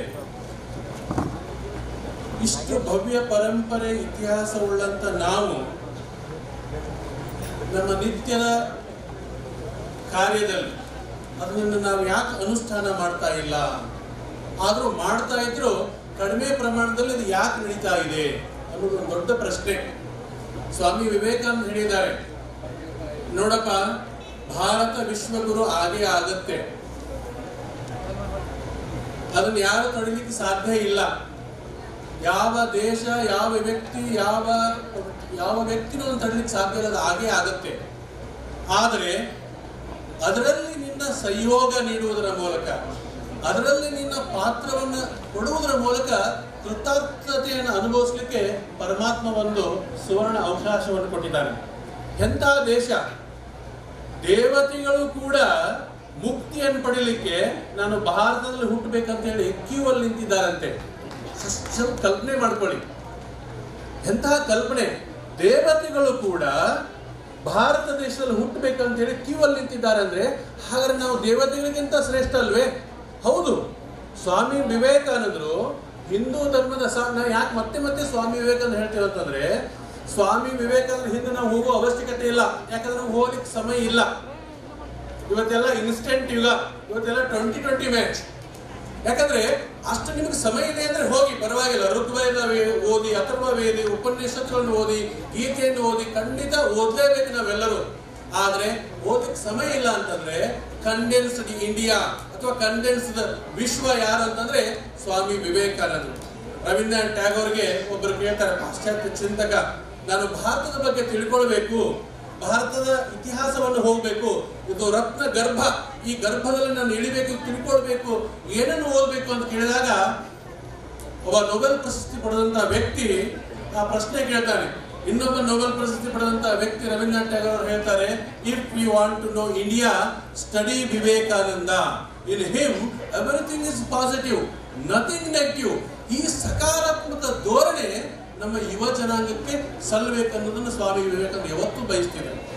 ಅದು ಆದಾಗ ಮಾತ್ರ ನಾವು ವಿಶ್ವಗುರು ಭಾರತವನ್ನ ಮತ್ತು ಸಮರ್ಥ ಭಾರತವನ್ನ ಯೋಗ್ಯವಾದಂತ ಸಮಾಜವನ್ನು ನಾವು ಕಟ್ಟಲಿಕ್ಕೆ ಸಾಧ್ಯವಾಗುತ್ತೆ. ಇವತ್ತು ಯುವಕರಲ್ಲಿ ಹಲವಾರು ಗೊಂದಲಗಳಿದ್ದಾವೆ. ಸ್ವಾಮಿ, ಸ್ವಾಮೀಜಿಯವರು ಬಹಳ ಅದ್ಭುತವಾಗಿ ಮಾತನಾಡಿದ ವಿಷಯಗಳನ್ನು ಹೇಳಿದರು. ಹೌದು. ಆ ಗೊಂದಲಕ್ಕೆ ಕಾರಣ ಧರ್ಮ ಅಲ್ಲ, ಅಥವಾ ಚಿಂತನೆ ಅಲ್ಲ, ನಮ್ಮ ಇತಿಹಾಸ ಅಲ್ಲ. ಅದರ ಆಳಕ್ಕೆ ಹೋಗಲಿಕ್ಕೆ ನಮಗೆ ಸಮಯ ಇಲ್ಲ. ಇವತ್ತು ಸೋಷಿಯಲ್ ಮೀಡಿಯಾ ಬಂದ್ಬಿಟ್ಟಿದೆ. ವಾಟ್ಸಪ್ ಫೇಸ್ಬುಕ್ ಫೇಸ್ಬುಕ್ ಅಲ್ಲಿ ಒಂದು ಪೇಜ್ ಹಾಕ್ತಾರೆ, ಒಂದು ಬರೀತಾರೆ. ಅವನ ಆಳಾದ ಅಧ್ಯಯನ ಎಲ್ಲಿದೆ? ಅವನ ಚಿಂತನೆ ಎಲ್ಲಿದೆ? ನಾನೊಂದು ಮಾತು ಹೇಳ್ತೀನಿ, ನೋಡಿ. ಕೇವಲ ಹೊಟ್ಟೆಪಾಡಿನ ವಿದ್ಯೆ ಕಲೀಲಿಕ್ಕೆ ನಾವು ಸುಮಾರು ಇಪ್ಪತ್ತಾರು ವರ್ಷ, ಮೂವತ್ತು ವರ್ಷ ಕೊಡ್ತಾ ಇದ್ದೇವೆ. ಕೇವಲ ಹೊಟ್ಟೆಪಾಡಿನ ವಿದ್ಯೆ ಕಲೀಲಿಕ್ಕೆ ನಾವು ಇಪ್ಪತ್ತೈದು ವರ್ಷ, ಮೂವತ್ತು ವರ್ಷ ಕೊಡ್ತಾ ಇದ್ದೇವೆ. ಇನ್ನು ಭವ್ಯ ಪರಂಪರೆ ಅಥವಾ ಆತ್ಮತತ್ವವನ್ನು ಅಥವಾ ಆಧ್ಯಾತ್ಮಿಕದ ತತ್ವವನ್ನು ತಿಳ್ಕೊಳ್ಳಿಕ್ಕೆ ವ್ಯಕ್ತಿ ಏನಾದರೂ ಸಮಯ ಕೊಡ್ತಾ ಇದ್ದಾನ? ಒಬ್ಬ ವ್ಯಕ್ತಿ ಏನನ್ನೂ ಅಧ್ಯಯನ ಮಾಡಿದವರಿಗೆ ಹೇಳಲಿಕ್ಕೆ ಏನು ಹಕ್ಕಿದೆ ನಿಜವಾಗ್ಲೂ ಆಲೋಚನೆ ಮಾಡಿ, ನಮ್ಮ ದೇಶದಲ್ಲಿ ಕೊಟ್ಟಂತ ಈ ಸ್ವಾತಂತ್ರ್ಯ ಅಥವಾ ಈ ಸಮಾನತೆ ಅಥವಾ ಈ ಸಮಾಜದಲ್ಲಿ ಎಲ್ಲವನ್ನೂ ಒಳಗೊಳ್ಳತಕ್ಕಂಥ ಸಮಾಜ ಅಂತ ಸ್ವಾಮಿ ವಿವೇಕಾನಂದ ಹೇಳಿದರು. ಯಾವುದನ್ನು ಹೊರಗಿರ್ತಕ್ಕಂಥದ್ದಲ್ಲ ಎಲ್ಲವನ್ನೂ ಒಳಗೊಳ್ತಕ್ಕಂಥ ಸಮಾಜ ಇದು. ಆದ್ರೆ ಅದರ ಆಳಕ್ಕೆ ಹೋಗಲಿಕ್ಕೆ ಇವತ್ತು ನಮ್ಮದು ಸಮಯ ಎಲ್ಲಿದೆ? ಆ ಸಮಯವನ್ನು ಮಾಡಿಕೊಂಡು ಒಂದು ರೀತಿ ಸೂಕ್ಷ್ಮತೆಯನ್ನು ನಾವು ಪಡ್ಕೊಂಡು ಆಳಕ್ಕೆ ಹೋದ್ರೆ ಸ್ವಾಮೀಜಿ ಹೇಳಿದ ಹಾಗೆ ಅಥವಾ ವಿವೇಕಾನಂದ ಹೇಳಿದ ಹಾಗೆ ಅತ್ಯಂತ ವೈಜ್ಞಾನಿಕವಾದ ಧರ್ಮ, ಅತ್ಯಂತ ಸುಸಂಸ್ಕೃತವಾದ ಸಮಾಜ, ಭಾರತೀಯ ಸಮಾಜ, ಹಿಂದೂ ಸಮಾಜ ಅನ್ನೋದು ಬಿಟ್ಟರೆ ಇನ್ನು ಜಗತ್ತಿನಲ್ಲಿ ಯಾವುದು ನಮಗೆ ಕಾಣಲಿಕ್ಕೆ ಸಾಧ್ಯವೇ ಇಲ್ಲ. ನಿಜವಾಗ್ಲೂ ಇದು ಇದೆ. ಅದಕ್ಕೆ ಧ್ವಜೇಂದ್ರನಾಥ್ ಶೀಲ್ ಅವರು ಹೇಳಿದರು India is ever ageing but never old ಇದಕ್ಕೆ ಇದಕ್ಕೆ ವಯಸ್ಸಾಗ್ತಾ ಇದೆ, ಅಂದ್ರೆ ಯಾವತ್ತು ಮುದಿ ಆಗಲ್ಲ ಇದು. ಯಾಕೆ? ಆ ತತ್ವ ನಿತ್ಯ ನೂತನ ತತ್ವ ಇದೆ ನಮ್ಮದು ಚಿರಂತನ ತತ್ವ ಇದೆ. ಅದಕ್ಕೆ ನಾವು ಮುಖ್ಯವಾದ ಬೆಲೆಯನ್ನು ಕೊಟ್ಟಿದ್ದೇವೆ ಹೊರತು ವಸ್ತು ಪ್ರಪಂಚಕ್ಕಲ್ಲ. ಹಾಗಂತೇಳಿ ವಸ್ತು ಪ್ರಪಂಚವನ್ನು ಕಡೆಗಣಿಸಬೇಕನ್ನೋದು ಮಾತಿನ ಅರ್ಥ ಅಲ್ಲ. ನಾವು ಅದರಲ್ಲೂ ಕೂಡ ನಾವು ಶ್ರೇಷ್ಠತೆಯನ್ನು ಇವತ್ತು ಸಾಧಿಸ್ತಾ ಇದ್ದೇವೆ. ವಿಶ್ವಗುರು ಭಾರತ ಆಗ್ತಾ ಇದೆ. ಇವತ್ತು ಇಡೀ ದೇಶಕ್ಕೆ, ಇಡೀ ಜಗತ್ತಿಗೆ ಜ್ಞಾನವನ್ನು ನೀಡ್ತಾ ಇದ್ದೇವೆ. ರಾಜಕೀಯವಾಗಿ ನಾವು ಬಲಿಷ್ಠ ಆಗ್ತಾ ಇದ್ದೇವೆ. ಆರ್ಥಿಕವಾಗಿ ನಾವು ಬಲಿಷ್ಠ ಆಗ್ತಾ ಇದ್ದೇವೆ. ಆಧ್ಯಾತ್ಮಿಕವಾಗಿ ನಾವು ಬಲಿಷ್ಠ ಆಗ್ತಾ ಇದ್ದೇವೆ. ಆ ಈ ಬಲಿಷ್ಠತೆ ಅನ್ನೋದು ಇನ್ನೂ ಹೆಚ್ಚಿನ ಪ್ರಮಾಣದಲ್ಲಿ ಆಗಬೇಕು. ಹೆಚ್ಚಿನ ಪ್ರಮಾಣದಲ್ಲಿ ಆದಾಗ ಮಾತ್ರ ನಾವೇನಾದ್ರೂ ಒಂದು ಆ, ಏನು ಅದರ ವಾರಸುದಾರ ನಿಜವಾಗ್ಲೂ ನಾವು ಅದರ ವಾರಸುದಾರ ಅಂತ ಅನ್ಕೊಳ್ಳಿಕ್ಕೆ ಹಕ್ಕಿದೆ ನಮಗೆ. ಇವತ್ತು ನೋಡಿ ನಮ್ಮ ತಂದೆ ತಾಯಿಗಳು ಮಾಡಿದ ಪ್ರಾಪರ್ಟಿಗೆ ನಾವು ಎಷ್ಟು ಎಷ್ಟು ಸ್ಪರ್ಧೆ ಮಾಡ್ತೇವೆ. ಅದು ನನಗೆ ಬರಬೇಕು ವ್ಯಾಜ್ಯ ಹಾಕ್ತೇವೆ ಕೋರ್ಟ್ಗೆ ಹಾಕ್ತೇವೆ ಮೂವತ್ತು ವರ್ಷ ನಲವತ್ತು ವರ್ಷ ಹೋರಾಡ್ತೇವೆ. ಯಾಕೆ? ತಂದೆ ತಾಯಿಗಳ ಆಸ್ತಿಗೆ. ಕಲ್ಪನೆ ಮಾಡ್ಕೊಳ್ಳಿ. ಹಾಗೆ ನಾವು ಋಷಿ ಸಂತಾನ. ಈ ಈ ಶರಣ ಶರಣ ಸಂತಾನ ಅಥವಾ ನಾವು ಭಾರತೀಯ ಸಂಜಾತರು ಅಂತಂದ್ರೆ ನಮ್ಮ ಪರಂಪರೆಗೆ ನಾವು ಎಷ್ಟು ಮಹತ್ವ ಕೊಡಬೇಕಾಗಿದೆ ಅನ್ನೋದು ದಯವಿಟ್ಟು ಗಮನಿಸಿ. ಇದು ಎಲ್ಲಿವರೆಗೂ ನಾವು ಮಾಡಲ್ವೋ, ವಿಚಾರ ಸಂಕೀರ್ಣ ದಿನನಿತ್ಯ ಮಾಡಿದ್ರು ಕೂಡ ಏನು ಪ್ರಯೋಜನ ಇಲ್ಲ. ಈ ವಿಚಾರ ಸಂಕೀರ್ಣ ಮಾಡೋದಕ್ಕೆ ನಾನು ಅವರಿಗೆ ಅಭಿನಂದನೆ ಸಲ್ಲಿಸ್ತೇನೆ. ಆದರೆ ಅದರ ಬದಲಾಗಿ ಇನ್ನೊಂದು ಆಲೋಚನೆ ಮಾಡಿ ನೀವು. ರಾಷ್ಟ್ರೀಯತೆ ಬಗ್ಗೆ, ಭಾರತೀಯ ಸಂಸ್ಕೃತಿ ಬಗ್ಗೆ, ಭಾರತೀಯ ಪರಿಸರದ ಬಗ್ಗೆ ತಿಳ್ಕೊಳ್ಳಿಕ್ಕೆ ನಾವು? ಅಥವಾ ನಾವು ಸಂಕೀರ್ಣ ಮಾಡ್ಬೇಕಾ? ಅದು ನಮ್ಮ ಬರ್ತ್ ರೈಟ್ ನಮ್ಮ ಒಳಗಡೆನೆ ಬರಬೇಕದು. ನಮ್ಮ ಮನೆಯಲ್ಲೇ ಬರಬೇಕು. ತೊಟ್ಟಲಲ್ಲಿ ಮಗು ಇದ್ದಾಗಲೇ ಅದಕ್ಕೆ ಆ ತತ್ವಗಳನ್ನು ಕೊಡಬೇಕು. ನಿಜವಾಗ್ಲು. ಇವತ್ತು ನೋಡಿ ಶಾಲಾ ಕಾಲೇಜುಗಳಲ್ಲಿ ನಾವು ಇವತ್ತು ಮಾರಲ್ ಶಿಕ್ಷಣ ಕೊಡ್ತಾ ಇದ್ದೇವೆ ಇದು ಪ್ರಗತಿ ಅನ್ಕೊಳ್ಳೋದಲ್ಲ. ಇದು ಪ್ರಗತಿಯೂ ಅಲ್ಲ. ನಾವು ಆಲೋಚನೆ ಮಾಡಬೇಕು. ವಿಚಾರ ಮಾಡಬೇಕು. ಯಾಕಂದ್ರೆ ಅದು ನಮ್ಮ ಒಳಗಡೆನೆ ಹಾಗೆ ಅಭಿಮನ್ಯು ಗರ್ಭದಲ್ಲೇ ಶಿಕ್ಷಣ ಪೂರ್ಣ ಮಾಡಿದೋ ಹಾಗೆ ಭಾರತೀಯ ತಾಯಿಯಂದರು ಭಾರತೀಯ ಪರಂಪರೆಯಲ್ಲಿ ಅದಕ್ಕೊಂದು ಪ್ರಧಾನವಾದ ಸ್ಥಾನ ಇದೆ. ಸ್ವಾಮಿ ವಿವೇಕಾನಂದ ಹೇಳಿದ್ರು ನಾನು ಏನಾಗಿದ್ದೀನೋ ಅದಕ್ಕೆಲ್ಲ ನನ್ನ ತಾಯಿಯ ಪ್ರಾರ್ಥನೆಯ ಫಲ ಅಂತ ಹೇಳಿ. ಹಾಗಾಗಿ ಮನೆಯಲ್ಲಿ ಆ ಪರಂಪರೆ ನಿತ್ಯವೂ ಪರಿಪಾಠವಾಗಬೇಕು. ಇವತ್ತು ಆ ಪರಂಪರೆ ಉಳಿಬೇಕಂತಂದ್ರೆ ಭಾಷಣಕಾರರಿಂದ ಉಳಿಯಲ್ಲ ಅದು. ನಮ್ಮೆಲ್ಲರಿಂದ ಉಳಿಯಲ್ಲ. ಒಬ್ಬ ವ್ಯಕ್ತಿ ಅಲ್ಲಿ ಸರ್ವಜನ ಹಿತಕ್ಕಾಗಿ ಹೊಲದಲ್ಲಿ ದುಡಿತಾ ಇದ್ದಾನೆ. ಒಬ್ಬಳು ತಾಯಿ ಇನ್ನೇನೋ ಒಂದು ಒಂದು ಪರಂಪರೆಯನ್ನಲ್ಲಿ ಕಾಪಾಡ್ತಾ ಇದ್ದಾಳೆ. ಇನ್ನೊಬ್ಬ ಯಾವುದೋ ಒಬ್ಬ ಪೌರ್ವ ಕಾರ್ಮಿಕ ನಮ್ಮ ಸಮಾಜವನ್ನು ಕಸಗುಡಿಸ್ತಾ ಇದ್ದಾನೆ. ಹೀಗೆ ಆ ಅನುಷ್ಠಾನದಿಂದ ಮಾತ್ರ ಅದು ಉಳಿಯುವಂಥದ್ದು. ಒಂದು ವೇಳೆ ನಾವು ಕೇವಲ ಶ್ರವಣಪ್ರಿಯರಾಗಿ, ಮಾತಿನ ಮಲ್ಲರಾಗಿ ಕೇವಲ ವಿಚಾರಗಳನ್ನು ಮಾಡಿದ್ರೆ ಏನು ಪ್ರಯೋಜನ ಆಗಲ್ಲ. ಆದರೆ ಅದರ ಅವಶ್ಯಕತೆ ಇದೆ. ಅದು ಬೇಕು. ಅದನ್ನು ನಾವು ಕೇಳಬೇಕು, ಅದನ್ನು ನಾವು ಮನನ ಮಾಡ ಶ್ರವಣ ಮಾಡಬೇಕು, ಅದನ್ನು ಮನನ ಮಾಡಬೇಕು, ಅದನ್ನು ಅನುಷ್ಠಾನ ಮಾಡಬೇಕು.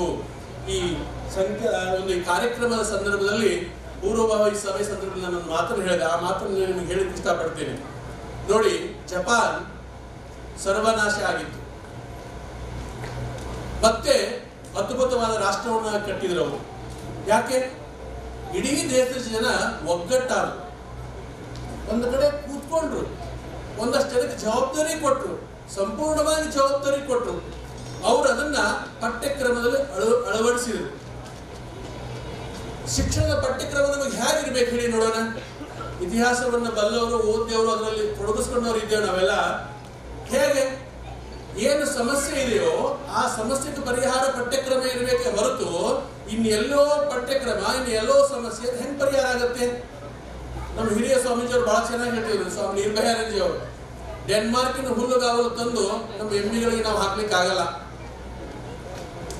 ಓದಿ ಪರವಾಗಿಲ್ಲ, ಮಾಹಿತಿ ತಗೊಳ್ಳಿ ಪರವಾಗಿಲ್ಲ, ಆದ್ರೆ ನಿತ್ಯದ ನಮ್ಮ ಜೀವನಕ್ಕೆ ಅದು ಬಳಕೆ ಆಗ್ತಾ ಇದೆಯಾ? ಇದು ಬಹಳ ಮುಖ್ಯ. ಇದರಲ್ಲಿ ನಾವು ಸೋತಿದ್ದೇವೆ, ಇದರಲ್ಲಿ ನಾವು ಸೋಲ್ತಾ ಇದ್ದೇವೆ, ಇದರಲ್ಲಿ ನಾವು ನಿರಾಸಕ್ತಿ ವಹಿಸ್ತಾ ಇದ್ದೇವೆ. ಖಂಡಿತ ಎಲ್ಲಿವರೆಗೂ ನಾವು ನಿರಾಸಕ್ತಿ ವಹಿಸ್ತೇವೋ, ಅಲ್ಲಿವರೆಗೂ ನಾವು ಉದ್ಧಾರ ಆಗ್ಲಿಕ್ಕೆ ಸಾಧ್ಯ ಇಲ್ಲ. ನಮ್ಮ ನಿತ್ಯದ ಕರ್ಮಗಳಲ್ಲಿ, ನಮ್ಮ ನಿತ್ಯದ ಜೀವನಗಳಲ್ಲಿ ಭಾರತೀಯ ಓತಪ್ರೋತವಾಗಿ ತುಂಬಿಕೋಬೇಕು. ಆ ಓತಪ್ರೋತ ತುಂಬಿಕೊಂಡಾಗ ಮಾತ್ರ ನಾವು ಶಕ್ತಿಶಾಲಿಯನ್ನಾಗಿ ಮಾಡ್ಲಿಕ್ಕೆ ಸಾಧ್ಯ. ಯಾರು ಇತಿಹಾಸವನ್ನು ತಿಳ್ಕೊಳ್ತಾರೋ ಅವ್ರು ಮಾತ್ರ ಇತಿಹಾಸವನ್ನು ನಿರ್ಮಾಣ ಮಾಡ್ಲಿಕ್ಕೆ ಸಾಧ್ಯ. ಸ್ವಾಮಿ ವಿವೇಕಾನಂದರು ಅದನ್ನೇ ಹೇಳಿದರು. ಆತ್ಮವಿಶ್ವಾಸ ಉಳ್ಳಂತ ಕೆಲವೇ ಜನರ ಇತಿಹಾಸ ಇದು. ಒಬ್ಬ ಬುದ್ಧನ ಇತಿಹಾಸ, ಒಬ್ಬ ಅಂಬೇಡ್ಕರ್ ಇತಿಹಾಸ ಅಥವಾ ಒಬ್ಬ ಬಸವೇಶ್ವರ ಇತಿಹಾಸ ಅಥವಾ ವಿವೇಕಾನಂದ ಇತಿಹಾಸ ಯಾಕೆ? ಅವ್ರು ಯಾರು? ನಮ್ಮ ಸಂಬಂಧಿಕರಲ್ಲ. ಆದರೆ ಅವರು ಸಮಾಜಕ್ಕಾಗಿ ಬದುಕಿದ್ರು, ದೇಶಕ್ಕಾಗಿ ಬದುಕಿದ್ರು ಸಂಸ್ಕೃತಿಗಾಗಿ ಬದುಕಿದ್ರು. ಹಾಗಾಗಿ ಅವರು ಅಜರಾಮರಾದರು ಅಜರಾಮರ ನಮ್ಗೆ ಎಲ್ಲರಿಗೂ ಅವಕಾಶ ಇದೆ. ಆದ್ರೆ ನಾವ್ ಎಷ್ಟು ಬುದ್ಧಿವಂತರಂದ್ರೆ ಕೇವಲ ಬಸವೇಶ್ವರ ಮಾತ್ರ ಅಜರಾಮರ ಆಗ್ಲಿ ನಾವು ಆಗೋದು ಬೇಡ. ಯಾಕಂದ್ರೆ ಅಜರಾಮರ ಆಗ್ಬೇಕಂದ್ರೆ ತ್ಯಾಗ ಮಾಡ್ಬೇಕಾಗತ್ತೆ. ಏನು? ಸ್ವಾರ್ಥವನ್ನು ತ್ಯಾಗ ಮಾಡ್ಬೇಕಾಗತ್ತೆ ಸಣ್ಣತನವನ್ನು ತ್ಯಾಗ ಮಾಡ್ಬೇಕಾಗತ್ತೆ ನಮ್ಮತನವನ್ನು ಬಿಟ್ಟು ವಿಶ್ವತನವನ್ನು ತಪ್ಪಿಕೊಳ್ಬೇಕಾಗತ್ತೆ. ಹಾಗೆ ಒಂದು ಹನಿ ನೀರು ಸಮುದ್ರವನ್ನು ಸೇರಿದಾಗ ಅದು ಸಮುದ್ರದ ವ್ಯಕ್ತಿತ್ವವನ್ನು ಪಡೆಯುತ್ತೆ. ಹಾಗೆ ನಾವು ನಮ್ಮ ಸಣ್ಣತನವನ್ನು ಬಿಟ್ಟಾಗ ಮಾತ್ರ ಏನು ವಸುದೈವ ಕುಟುಂಬಕ್ಕಂತಕ್ಕಂಥ ಈ ಸನಾತನ ತತ್ವ ಇದೆಯಲ್ಲ, ಅದನ್ನು ನಾವು ಹಿಡಲಿಕ್ಕೆ ಸಾಧ್ಯವಾಗತ್ತೆ. ಅವಾಗ ಮಾತ್ರ ನಾವು ನಿಜವಾದ ವಾರಸ್ಥರಾಗ್ತೇವೆ ಇಲ್ಲ ಹೊರತು ಕೇವಲ ನನ್ನ ಭಾರತದಲ್ಲಿ ಹುಟ್ಟಿದ್ದೇನೆ, ನಮ್ಮ ಪರಂಪರೆ ಹಿಂದೂ, ಅದಕ್ಕೆ ಮಾತ್ರ ನಾವು ಆಗ್ಲಿಕ್ಕೆ ಸಾಧ್ಯ ಇಲ್ಲ. ಅದನ್ನ ಗಳಿಸ್ಕೊಳ್ಬೇಕಾಗತ್ತೆ. ಅದನ್ನ ಪಡ್ಕೊಳ್ಬೇಕಾಗತ್ತೆ. ಪಡ್ಕೊಳ್ಬೇಕಂದ್ರೆ, ಗಳಿಸ್ಬೇಕಂದ್ರೆ ಅದಕ್ಕೆ ನಾವು ತ್ಯಾಗ ಮಾಡ್ಬೇಕಾಗತ್ತೆ. ಅವಾಗ ಮಾತ್ರ ನಾವೊಂದು ಸಮೃದ್ಧ, ಸದೃಢವಾದ ಭಾರತವನ್ನು ಕಟ್ಟಲಿಕ್ಕೆ ಸಾಧ್ಯವಾಗುತ್ತೆ. ಆತ್ಮೀಯ ಬಂಧುಗಳೇ ಕೊನೆಯ ಒಂದು ಮಾತನ್ನು ಹೇಳಿಕ್ಕೆ ಇಷ್ಟಪಡ್ತೀನಿ. ನಮ್ಮ ಸಂಸ್ಕೃತಿ ಉರಿಬೇಕಂದ್ರೆ ನಮ್ಮ ಗಂಗೆಯ ಬಗ್ಗೆ. ಅಪಾರವಾದ ಗೌರವ. ಗಂಗೆಯನ್ನು ಕೇವಲ ಅಲ್ಲೇ ಹೋಗಬೇಕಾಗಿಲ್ಲ. ನಮ್ಮ ನಮ್ಮ ಏನು ನಿಂತದ್ದೆಲ್ಲ ಗಂಗಾ ಮಾತೇನೆ. ಆಮೇಲೆ ನಮ್ಮ ಹಬ್ಬ ಹರಿದಿನಗಳಲ್ಲಿ ನಾವು ಅತ್ಯಂತ ಉತ್ಸಾಹದಿಂದ ಪಾಲ್ಗೊಂಡು ಅವುಗಳ ಅತ್ಯಂತ ಅರ್ಥಪೂರ್ಣವಾಗಿ ಆಚರಿಸ್ತೀವಿ ನೀವು ಕೇಳ್ತೀರ ಅಂದ್ರೆ ನಾವು ಇನ್ನೂ ಗಂಟೆ ಗಂಟೆ ಸ್ವಾಮೀಜಿನ ಮಾತಾಡ್ತಾರೆ, ಅವರು ಮಾತಾಡ್ತಾರೆ, ನಾನು ಮಾತನಾಡಬಹುದು. ಯಾಕಂದ್ರೆ ಅತ್ಯಂತ ವೈಜ್ಞಾನಿಕವಾಗಿದೆ ಇದು. ಅದ್ರಾಗ ಎರಡನೇ ಮಾತೇ ಇಲ್ಲ. ಇದು ವೆರಿಫೈಡ್ ಟ್ರುತ್ ಇದು ಆಲ್ರೆಡಿ ವೆರಿಫೈಡ್ ಟ್ರುತ್ ಇದು. ಆಲ್ರೆಡಿ ಅದನ್ನ ಸಂಶೋಧನೆ ಮಾಡಿ, ಪರಿಶೋಧನೆ ಮಾಡಿ ಕೊಟ್ಟಿದ್ದಾರೆ. ಹಾಗಾಗಿ ಅವುಗಳನ್ನು ಅನುಷ್ಠಾನ ಮಾಡಬೇಕು. ಅದಕ್ಕೆ ಅದರ ಜೊತೆಗೆ ಗೋಮಾತೆಯ ಸಂರಕ್ಷಣೆ ಆಗಬೇಕು. ನಾನಂತೂ ಅದನ್ನು ಹೇಳಬೇಕಾ? ಯಾಕಂದ್ರೆ ನಾವು ಸ್ವಲ್ಪ ಅದರ ಅಳಿಲು ಸೇವೆಯಲ್ಲಿ ಇದ್ದೇವೆ ನಮ್ಮ ಹತ್ರ ಎಲ್ಲ ಬರ್ತಾರೆ. ಸ್ವಾಮೀಜಿ, ನಮಗೊಂದು ಹಸು ಕೊಡಿ ಅಂತ ಹೇಳಿ. ಅವ್ರಿಗೆಲ್ಲ ನಾನು ಹೇಳ್ತೀನಿ. ನಾನು ಹಸು ಕೊಡಲ್ಲಪ್ಪ ನಿನಗೆ. ಎಲ್ಲ ಹಿರಿಯರು ಹೇಳ್ತಾರೆ, ನಮ್ಮ ಮನೆಯಲ್ಲಿ ಇತ್ತು, ನಮ್ಮ ತಾತ ಮಾಡ್ತಿದ್ದ, ನಮ್ಮ ಅಜ್ಜಿ ಮಾಡ್ತಿದ್ಲು, ನಾವು ಹೈನು ಊಟ ಮಾಡ್ತಿದ್ದೀವು, ಅಷ್ಟು ಚೆನ್ನಾಗಿತ್ತು ಸ್ವಾಮೀಜಿ ಅದು. ಮತ್ತೆ ಎಲ್ಲಿ ಹೋಯ್ತಾ ಇದಾರೆ ಅದು? ಯಾಕೆ ಹೋಯ್ತು? ಏನು ಯಾರ ಬಂದು ಕಸ್ಕೊಂಡು ಹೋದ್ರ? ಯಾರು ಬಂದು ಕಸ್ಕೊಂಡು ಹೋಗಿಲ್ಲ ಅದನ್ನ? ನಾವು ಸ್ವಾಮೀಜಿ ಹೇಳಿದಾಗ ನಾವು ಸೋಮಾರಿಗಳಾಗಿದ್ದೇವೆ ಮೈಗಡರಾಗಿದ್ದೇವೆ ಆದ್ರೆ ಎಷ್ಟು ಎಷ್ಟು ವಿಚಿತ್ರ ಅಂದ್ರೆ ಎಷ್ಟು ಜಾಣರಂದ್ರೆ ನಾವು, ಪರಿಶ್ರಮ ಪಡ್ಲಿಕ್ಕೆ ಇಷ್ಟ ಇಲ್ಲ, ಆದರೆ ಸಂಸ್ಕೃತಿ ರಕ್ಷಣೆ ಆಗಬೇಕು, ಪರಂಪರೆ ಉಳ್ಬೇಕು ಅದು ಹೇಗೆ ಉಳಿಯುತ್ತೆ? ಈ ಜಗತ್ತಿನಲ್ಲಿ ಏನಾದರೂ ನಿಯಮ ಇದೆಯಾ ಹಾಗೆ? ಸಾಧ್ಯನೇ ಇಲ್ಲ. ಅದಕ್ಕೆ ಒಂದೇ ನಿಯಮ. ಏನು? ಅದಕ್ಕೆ ರಕ್ತ ಸುರಿಸ್ಬೇಕು, ಅದಕ್ಕೆ ಬೆವರು ಸುರಿಸ್ಬೇಕು, ರಕ್ತ ಸುರಿಸ್ಬೇಕು ಲಿಟ್ರಲ್ ರಕ್ತ ಅಂತಲ್ಲ. ಅದಕ್ಕೆ ಪರಿಶ್ರಮ ಪಡಬೇಕು. ಅದರಿಂದ ಮಾತ್ರ ಉದ್ಧಾರ ಆಗುತ್ತೆ. ಇವರ creator own destiny Swami Vivekananda ಯಾಕೆ ಹೇಳಿದ್ರು? ನೀನು ನಿರ್ಮಾತೃ ಇನ್ನೊಂದು ಯಾಕೆ ಹೇಳಿದ್ರು? ನಮ್ಮ ಸಂಸ್ಕೃತಿಯನ್ನು ಬೇರೆಯವರು ಬಂದು ರಕ್ಷಣೆ ಮಾಡಬೇಕಾ? ಇಲ್ಲ. ಅದರ ಬದಲಾಗಿ ಪ್ರತಿಯೊಬ್ಬ ವ್ಯಕ್ತಿಯು ಕೂಡ ಅದನ್ನು ಮಾಡಬೇಕು. ಅವ್ರು ಬಂದು ಕೇಳ ಹೇಳಿದ್ರೆ ಯಾರ ಕಸ್ಕೊಂಡು ಹೋದ್ರ? ಇಲ್ಲ. ಕಳ್ಕೊಂಡಿದೀಯಾ ಪಡ್ಕೋ. ಪಡ್ಕೊಳ್ಳಿಕ್ಕೆ ಪರಿಶ್ರಮ ಪಡು. ಯಾಕೆ? ಆ ರೀತಿ ಪರಿಶ್ರಮದ ಬಂದಿದ್ದಕ್ಕೆ ನಿಮಗೆ ಬೆಲೆ ಇರುತ್ತೆ ಹೊರತು ಉಚಿತವಾಗಿ ಕೊಟ್ಟಿದ್ರಲ್ಲಿ ಯಾವುದೇ ಬೆಲೆ ಇರಲ್ಲ. ಇವತ್ತು ಸರ್ಕಾರಗಳು, ಆಡಳಿತ ನಡೆಸೋರು ಇದನ್ನು ಗಮನಿಸಬೇಕು. ಉಚಿತವಾಗಿ ಕೊಡಿ, ಪರವಾಗಿಲ್ಲ. ಆದರೆ ಅದಕ್ಕೆ ತಕ್ಕಂತ ಕಾಯಕವನ್ನು, ಯೋಗವನ್ನು ಕಾಯಕವನ್ನು ಮಾಡ್ತಕ್ಕಂಥ ಒಂದು ಧೋರಣೆ ನಮ್ಮ ಸರ್ಕಾರ ವ್ಯವಸ್ಥೆಯನ್ನು ಬರಬೇಕು. ಅದರ ಬದಲಾಗಿ ಉಚಿತ ಕೊಡ್ತಾ ಹೋದ್ರೆ ನೀವೇನು ಮಾಡಿದರೂ ಎಲ್ಲವನ್ನು ಪೂರೈಸ್ಲಿಕ್ಕಾಗಲ್ಲ. ಗಾಂಧೀಜಿ ಅದಕ್ಕೆ ಹೇಳಿದ್ದು ನಮ್ಮ ಅವಶ್ಯಕತೆಯನ್ನು ಪೂರೈಸ್ಲಿಕ್ಕೆ ಸಂಪತ್ತಿದೆ ಹೊರತು ನಮ್ಮ ದುರಾಸೆಗಳನ್ನು ಪೂರೈಸ್ಲಿಕ್ಕೆ ಸಂಪತ್ತಿಲ್ಲ. ಹಾಗಾಗಿ ಈ ಭವ್ಯ ಪರಂಪರೆ, ಭವ್ಯ ಸಂಸ್ಕೃತಿ ಉಳಿಬೇಕಂದ್ರೆ ನಾವೆಲ್ಲರೂ ಕಂಕಣಬದ್ಧವಾಗಿ ದುಡಿಬೇಕು. ಸ್ವಾಮಿ ವಿವೇಕಾನಂದರ ಒಂದು ಮಾತನ್ನು ಹೇಳಿ, ನನ್ನ ಮಾತನ್ನು ಮುಗಿಸ್ತೇನೆ. ಅವ್ರು ಹೇಳಿದರು ನೋಡಿ ಭಾರತೀಯರೇ, ಈ ಪುರಾತನ ಹಡಗು ಲಕ್ಷಾಂತರ ಜನವನ್ನ ಒಂದು ದಂಡೆಯನ್ನು ಇನ್ನೊಂದು ದಂಡೆಗೆ ದಾಟಿಸಿದೆ. ಯಾವುದು? ಈ ಹಡಗು. ಆದ್ರೆ ನಮ್ಮ ಅಚಾ, ಅಚಾರತೆ, ಏನು, ನಮ್ಮ ಅಜಾಗರೂಕತೆಯಿಂದ, ನಮ್ಮ ಅಸಡ್ಡೆಯಿಂದ ನಮ್ಮ ಒಂದು ರೀತಿ ಅಸಹಾಯಕತೆಯಿಂದ ಈ ಹಡಗಿಗೆ ರಂಧ್ರ ಬಿದ್ದಿದೆ. ಹೇಳಿ, ಆ ರಂಧ್ರವನ್ನು ನೋಡಿ ನಗುತ್ತೀರೋ ಅಥವಾ ಆ ರಂಧ್ರದಿಂದ ನೀರೊಳ ಹೋಗಿ ಎಲ್ಲರೂ ಸರ್ವನಾಶ ಆಗ್ತಿರೋ, ಇಲ್ಲ ಆ ರಂಧ್ರವನ್ನು ಮುಚ್ಚಿ ಅದಕ್ಕೆ ನೀವು ಸಹಾಯ ಆಗ್ತೀರೋ ಪ್ರಶ್ನೆ ಕೇಳ್ತಾರೆ. ವಿವೇಕಾನಂದ ಹೇಳ್ತಾರೆ ಅಂತ ಹಡಗಿಗೆ ನಾನು ನನ್ನ ಹೃದಯದ ರಕ್ತವನ್ನು ಬಸಲಿಕ್ಕೆ ಸಿದ್ಧ ಅಂತ ಸ್ವಾಮಿ ವಿವೇಕಾನಂದ ಹೇಳ್ತಾರೆ. ಆಲೋಚನೆ ಮಾಡಿ. ಅತ್ಯಂತ ವೈಜ್ಞಾನಿಕವಾದಂತ ಅತ್ಯಂತ ಅರ್ಥಪೂರ್ಣವಾದಂತ ಪರಂಪರೆಗೆ ಸೇರಿದಂತ ಹೆಮ್ಮೆ ನನಗೆ ಅಂತ ಸ್ವಾಮಿ ವಿವೇಕಾನಂದ ಹೇಳಿದ್ರು. ಆ ಹೆಮ್ಮೆ ಇವತ್ತು ನಮಗೆ ಕೊರತೆ ಆಗಿದೆ ತತ್ಫಲವಾಗಿ ನಮ್ಮ ಸಮಾಜ ಅಥವಾ ನಮ್ಮ ಮನೆಯ ವ್ಯವಸ್ಥೆಗಳು ಅಥವಾ ನಮ್ಮ ವ್ಯವಸ್ಥೆಗಳು ಹೀಗಾಗಲಿಕ್ಕೆ ಸಾಧ್ಯವಾಗಿದೆ. ಆ ಹೆಮ್ಮೆ ಬಂತು ಅಂತಂದ್ರೆ ನಾವಿವತ್ತು ಮಾತನಾಡ್ಬೇಕು. ಹಿಂದೆ ಒಂದು ಕಾಲ ಇತ್ತು ಮಾತನಾಡೋದು ಬೇಡ ಅಂತೇಳಿ. ಇವತ್ತು ನಾವೆಲ್ಲರೂ ಮಾತನಾಡ್ಬೇಕು. ಪಕ್ಕದಲ್ಲಿದ್ದವ್ರು ಎಲ್ಲರೂ ಮಾತನಾಡ್ಬೇಕು. ಜೋರ್ ಜೋರ್ ಮಾತನಾಡ್ಬೇಕು. ಜೋರ್ ಮಾತನಾಡಿ ಅದು ಅವ್ರಿಗೆಷ್ಟು ಅನುಕೂಲ ಆಗುತ್ತೆ ಗೊತ್ತಿಲ್ಲ. ಅದರ ಮೂಲಕ ನಾವು ಜಾಗೃತ ಆಗ್ತೇವೆ. ನಮ್ಮಲ್ಲಿ ಚೈತನ್ಯ ಬರುತ್ತೆ. ಆ ಚೈತನ್ಯ ಬಂದಾಗ ಅದು ಅನುಷ್ಠಾನಗೊಂಡಾಗ ಏನು ಸ್ವಾಮಿ ವಿವೇಕಾನಂದರು ಭವ್ಯ ಭಾರತದ ಕನಸನ್ನು ಕಂಡಲ್ಲ? ಅದು ಸಾಕಾರ ಆಗುತ್ತೆ. ಆ ದಿಶೆಯಲ್ಲಿ ನಾನು ಈ ಸಮಿತಿಯನ್ನ ಅಭಿನಂದಿಸ್ತೇನೆ. ವಿಶೇಷವಾಗಿ ನಮ್ಮ ಉತ್ತರ ಪ್ರಾಂತದ ಶಿವಕುಮಾರ್ ಉಪ್ಪೆ ಅವರು. ಹಗಲು ಇರುಳು ನಿದ್ದೆ ಇಲ್ಲದೆ ದುಡಿದ್ರು. ಅವರಿಗೆ ಮಹಾಪೋಷಕರಾಗಿ ನಮ್ಮ ಪಾಟೀಲ್ ಅವರು ಬಹಳ ಸಭ್ಯ ವ್ಯಕ್ತಿ. ನಮ್ಮ ಬೀದರ್ಲಿ ಕಂಡಂತ ಅತ್ಯಂತ ಸಭ್ಯ ವ್ಯಕ್ತಿ. ಅಂತ ಹಲವಾರು ಮಹಿಳೆಯರು ಇದರ ಹಿಂದೆ ದುಡಿದಿದ್ದಾರೆ. ಹಲವಾರು ಜನ ಮಹಿಳಾ ಪ್ರಮುಖರು ದುಡಿದಿದ್ದಾರೆ. ನಿಜವಾಗ್ಲೂ ಇದು ಆಗ್ಬೇಕು. ಅದು ನಾನು ಹೇಳ್ತಿರ್ತೇನೆ ಯಾವಾಗಲೂ, ಮನೆಯಲ್ಲಿ ಹತ್ತು ಜನ ಇದ್ದು ಒಬ್ಬ ದುಡಿದು ಒಂಬತ್ತು ಜನ ಕೂತಿದ್ರೆ ತಿಂದ್ರೆ ಅದು ಸರಿ ಇರುತ್ತಾ? ಆ ಮನೆ ಉದ್ಧಾರ ಆಗತ್ತಾ? ಸಾಧ್ಯ ಇಲ್ಲ. ಹತ್ತು ಜನ ಇದ್ದಾಗ, ಹತ್ತು ಜನ ದುಡಿದ್ರೆ ರಾಷ್ಟ್ರೀಯ ವರಮಾನ ಜಾಸ್ತಿ ಆಗುತ್ತೆ, ಮನೆಯ ವರಮಾನ ಜಾಸ್ತಿ ಆಗುತ್ತೆ, ಅವರಿಗೆ ಆರೋಗ್ಯನೂ ಬರುತ್ತೆ. ಆರೋಗ್ಯ ಎಲ್ಲಿ ಬರುತ್ತೆ? ಕೇವಲ ಬೆಳಗ್ಗೆ ನಾಲ್ಕು ಪ್ರಾಣಾಯಾಮ ಮಾಡೋದ್ರಿಂದ ಬರಲ್ಲ. ಮತ್ತೆ ನೋಡಿ, ಎಲ್ಲ ನಮ್ಮ ದೇಶದಲ್ಲಿ ಏನಾಗಿದೆ ಅಂದ್ರೆ ಒಂದು ಹೇಳಿದ್ರೆ ಅದಕ್ಕೆ ಇನ್ನೊಂದು ಕಲ್ಪಿಸ್ತಕ್ಕಂಥ ಒಂದು ವ್ಯವಸ್ಥೆ ನಿರ್ಮಾಣ ಆಗುತ್ತೆ. ಅನ್ಯತಾ ಭಾವಿಸ್ಬೇಡಿ. ನಾನು ಹೇಳ್ತಾ ಇರೋದೆಲ್ಲ ಉದ್ದೇಶ ಇಷ್ಟೇ. ನೀವೇನ್ ಮಾಡ್ತೀರಿ ಮಾಡಿ ಅದ್ರ ಜೊತೆಗೆ ಅರ್ಥಪೂರ್ಣವಾದದ್ದನ್ನು ಮಾಡಿ. ಬದುಕಲೇಬೇಕು. ಆದ್ರೆ ಅರ್ಥಪೂರ್ಣವಾಗಿ ಬದುಕಿ ಮಾಡಲೇಬೇಕು. ಅರ್ಥಪೂರ್ಣವಾಗಿ ಮಾಡಿ ಅದನ್ನೇ ಕರ್ಮಯೋಗ ಅಂತ ವಿವೇಕಾನಂದರು ಕರೆದಿದ್ದು. ಅದನ್ನೇ ಈ ಹನ್ನೆರಡನೇ ಶತಮಾನದಲ್ಲಿ ಕಾಯಕ ಅಂತ ಶರಣರು ನಮ್ಮ ಜಗತ್ತಿಗೆ ಕೊಟ್ಟರು. ಆ ಕಾಯಕ ತತ್ವವನ್ನ ಕರ್ಮ ಕೌಶಲವನ್ನು ಇವತ್ತು ನಾವು ಮರೆತು ಬಿಟ್ಟಿದ್ದೇವೆ ಇಷ್ಟು ಮರೆತು ಬಿಟ್ಟಿವೆ ಅಂದ್ರೆ ಕುಂಭಕರ್ಣ ವಂಶಸ್ಥರಾಗ್ಬಿಟ್ಟಿದ್ದೇವೆ. ಆ ಕುಂಭಕರ್ಣ ನಿದ್ದೆಯಿಂದ ಹೊರಗೆ ಬರಬೇಕು, ನಾವು ಎದ್ದೇಳಬೇಕು, ನಾವು ಜಾಗೃತ ಆಗಬೇಕು. ಅವೇಕನ್ ಇಂಡಿಯಾ ಅಂತ ವಿವೇಕಾನಂದ ಕರೆ ಕೊಟ್ಟರು. ಎದ್ದೇಳು ಭಾರತ. ಭಾರತ ಎದ್ದೇಳು ಭಾರತ ಅಂತ ಆ ಭಾರತ ಹೇಳ್ಬೇಕಂದ್ರೆ ಭೂಪ್ರದೇಶ ಅಲ್ಲ, ನಿಮ್ಗೆ ಗೊತ್ತಿರುವ ಹಾಗೆ ಭಾರತದ ಭೂಪ್ರದೇಶ ಅಲ್ಲ. ಅಲ್ಲಿರ್ತಕ್ಕಂಥ ಜನಗಳು, ಸ್ವಾಮೀಜಿ ಹೇಳಿದ್ರಲ್ಲ ವ್ಯಕ್ತಿ ವೀರಭದ್ರನಾದ್ರೆ ಸಮಾಜ ಸುಭದ್ರ. ಹಾಗೆ ಇವತ್ತೆಲ್ಲ ಏನೇನೋ ಆಗ್ತಾ ಇದೆ ಅದರ ಕಾರಣ ಬೇರೆ ಯಾರು ಅಲ್ಲ. ಅದಕ್ಕೆ ನಾವು ನಾವೇ ಕಾರಣ. ಹಾಗೆ ಬದಲಾಗಬೇಕಂದ್ರೆ ಅದಕ್ಕೂ ನಾವೇ ಕಾರಣ ಆಗಬೇಕು. ಹಾಗಾಗಿ ನಾವು ನಿದ್ರಿಸದೆ ನಾವು ಈ ಕಾರ್ಯದಲ್ಲಿ ತೊಡಗಿಸ್ಕೊಳ್ಬೇಕು, ಈ ಪರಂಪರೆಯನ್ನು ಉಳಿಸ್ಬೇಕು. ಯಾಕಂದ್ರೆ ಮುಂದಿನ ಜನಾಂಗ ನಮ್ಗೆ ಶಾಪ ಹಾಕುತ್ತೆ. ಮುಂದಿನ ಮಕ್ಕಳು ನಮ್ಗೆ ಶಾಪ ಹಾಕ್ತಾರೆ. ಎಂತ ದ್ರೋಹಿಗಳು ಇವರು. ಎಂತ ನೀಚರು ಇವರು. ಒಳ್ಳೆ ಗಾಳಿ ತಗೊಂಡ್ರು, ಒಳ್ಳೆ ನೀರು ಕುಡಿದ್ರು, ಒಳ್ಳೆ ಆಹಾರ ತಗೊಂಡ್ರು. ನಮಗೆ ಕಲುಷಿತವಾದನ್ನು ಕೊಡ್ತಾ ಇದ್ದಾರೆ ಇವರು. ಕೊಟ್ಟು ಹೋಗಿದ್ದಾರೆ ಇವರು. ಮೂರ್ಖರು ಅಂತ ನಮ್ಮನ್ನ ಹೀಯಾಳಿಸ್ತಾರೆ. ಆಗ ಇವತ್ತು ನಮ್ಮ ಪರಂಪರೆಯನ್ನು ನಾವು ಗೌರವಿಸಿದ ಕಾರಣ ಏನಂತಂದ್ರೆ ಅವರು ಭವ್ಯತೆಯನ್ನು ಕೊಟ್ಟಿದ್ದಾರೆ, ದಿವ್ಯತೆಯನ್ನು ಕೊಟ್ಟಿದ್ದಾರೆ. ಹಾಗೆ ನಾವು ಕೊಡಬೇಕು, ನಮ್ಮ ಸಂತಾನಕ್ಕೆ ಕೊಡ್ಬೇಕಂದ್ರೆ ನಾವೆಲ್ಲರೂ ಕ್ರಿಯಾಶೀಲರಾಗಬೇಕು. ಎಲ್ಲರೂ ಅವರವರ ಕ್ಷೇತ್ರದಲ್ಲಿ, ಅವರವರ ಸ್ಥಾನದಲ್ಲಿ. ಪ್ರತಿಯೊಬ್ಬರು ನಾವು ಕ್ರಿಯಾಶೀಲರಾದಾಗ ಮಾತ್ರ ಭವ್ಯ ಭಾರತ ಆಗತ್ತೆ. ಅದನ್ನು ಮೋದಿಜಿ ಅವರು ಚೆನ್ನಾಗಿ ಹೇಳಿದ್ರಲ್ಲ, ಏನು? ನಾವು ಒಂದು ನೂರ ನಲವತ್ತು ಕೋಟಿ ಜನಸಂಖ್ಯೆ ಒಂದು ಹೆಜ್ಜೆ ಮುಂದಿಟ್ರೆ ಏನು ಅದ್ಭುತ? ಕಲ್ಪನೆನೇ ಅದ್ಭುತ. ಹಾಗಾಗಿ ಪ್ರತಿಯೊಬ್ಬರು ಒಂದು ಕಾಯಕ ತತ್ವವನ್ನು ಕರ್ಮ ಕೌಶಲವನ್ನು, ಅನುಷ್ಠಾನ ವೇದಾಂತದ ಮೂಲಕ ಸಾಧಿಸಿದ್ರೆ ನಿಜಕ್ಕೂ ಅದು ಅದ್ಭುತವಾಗುತ್ತೆ.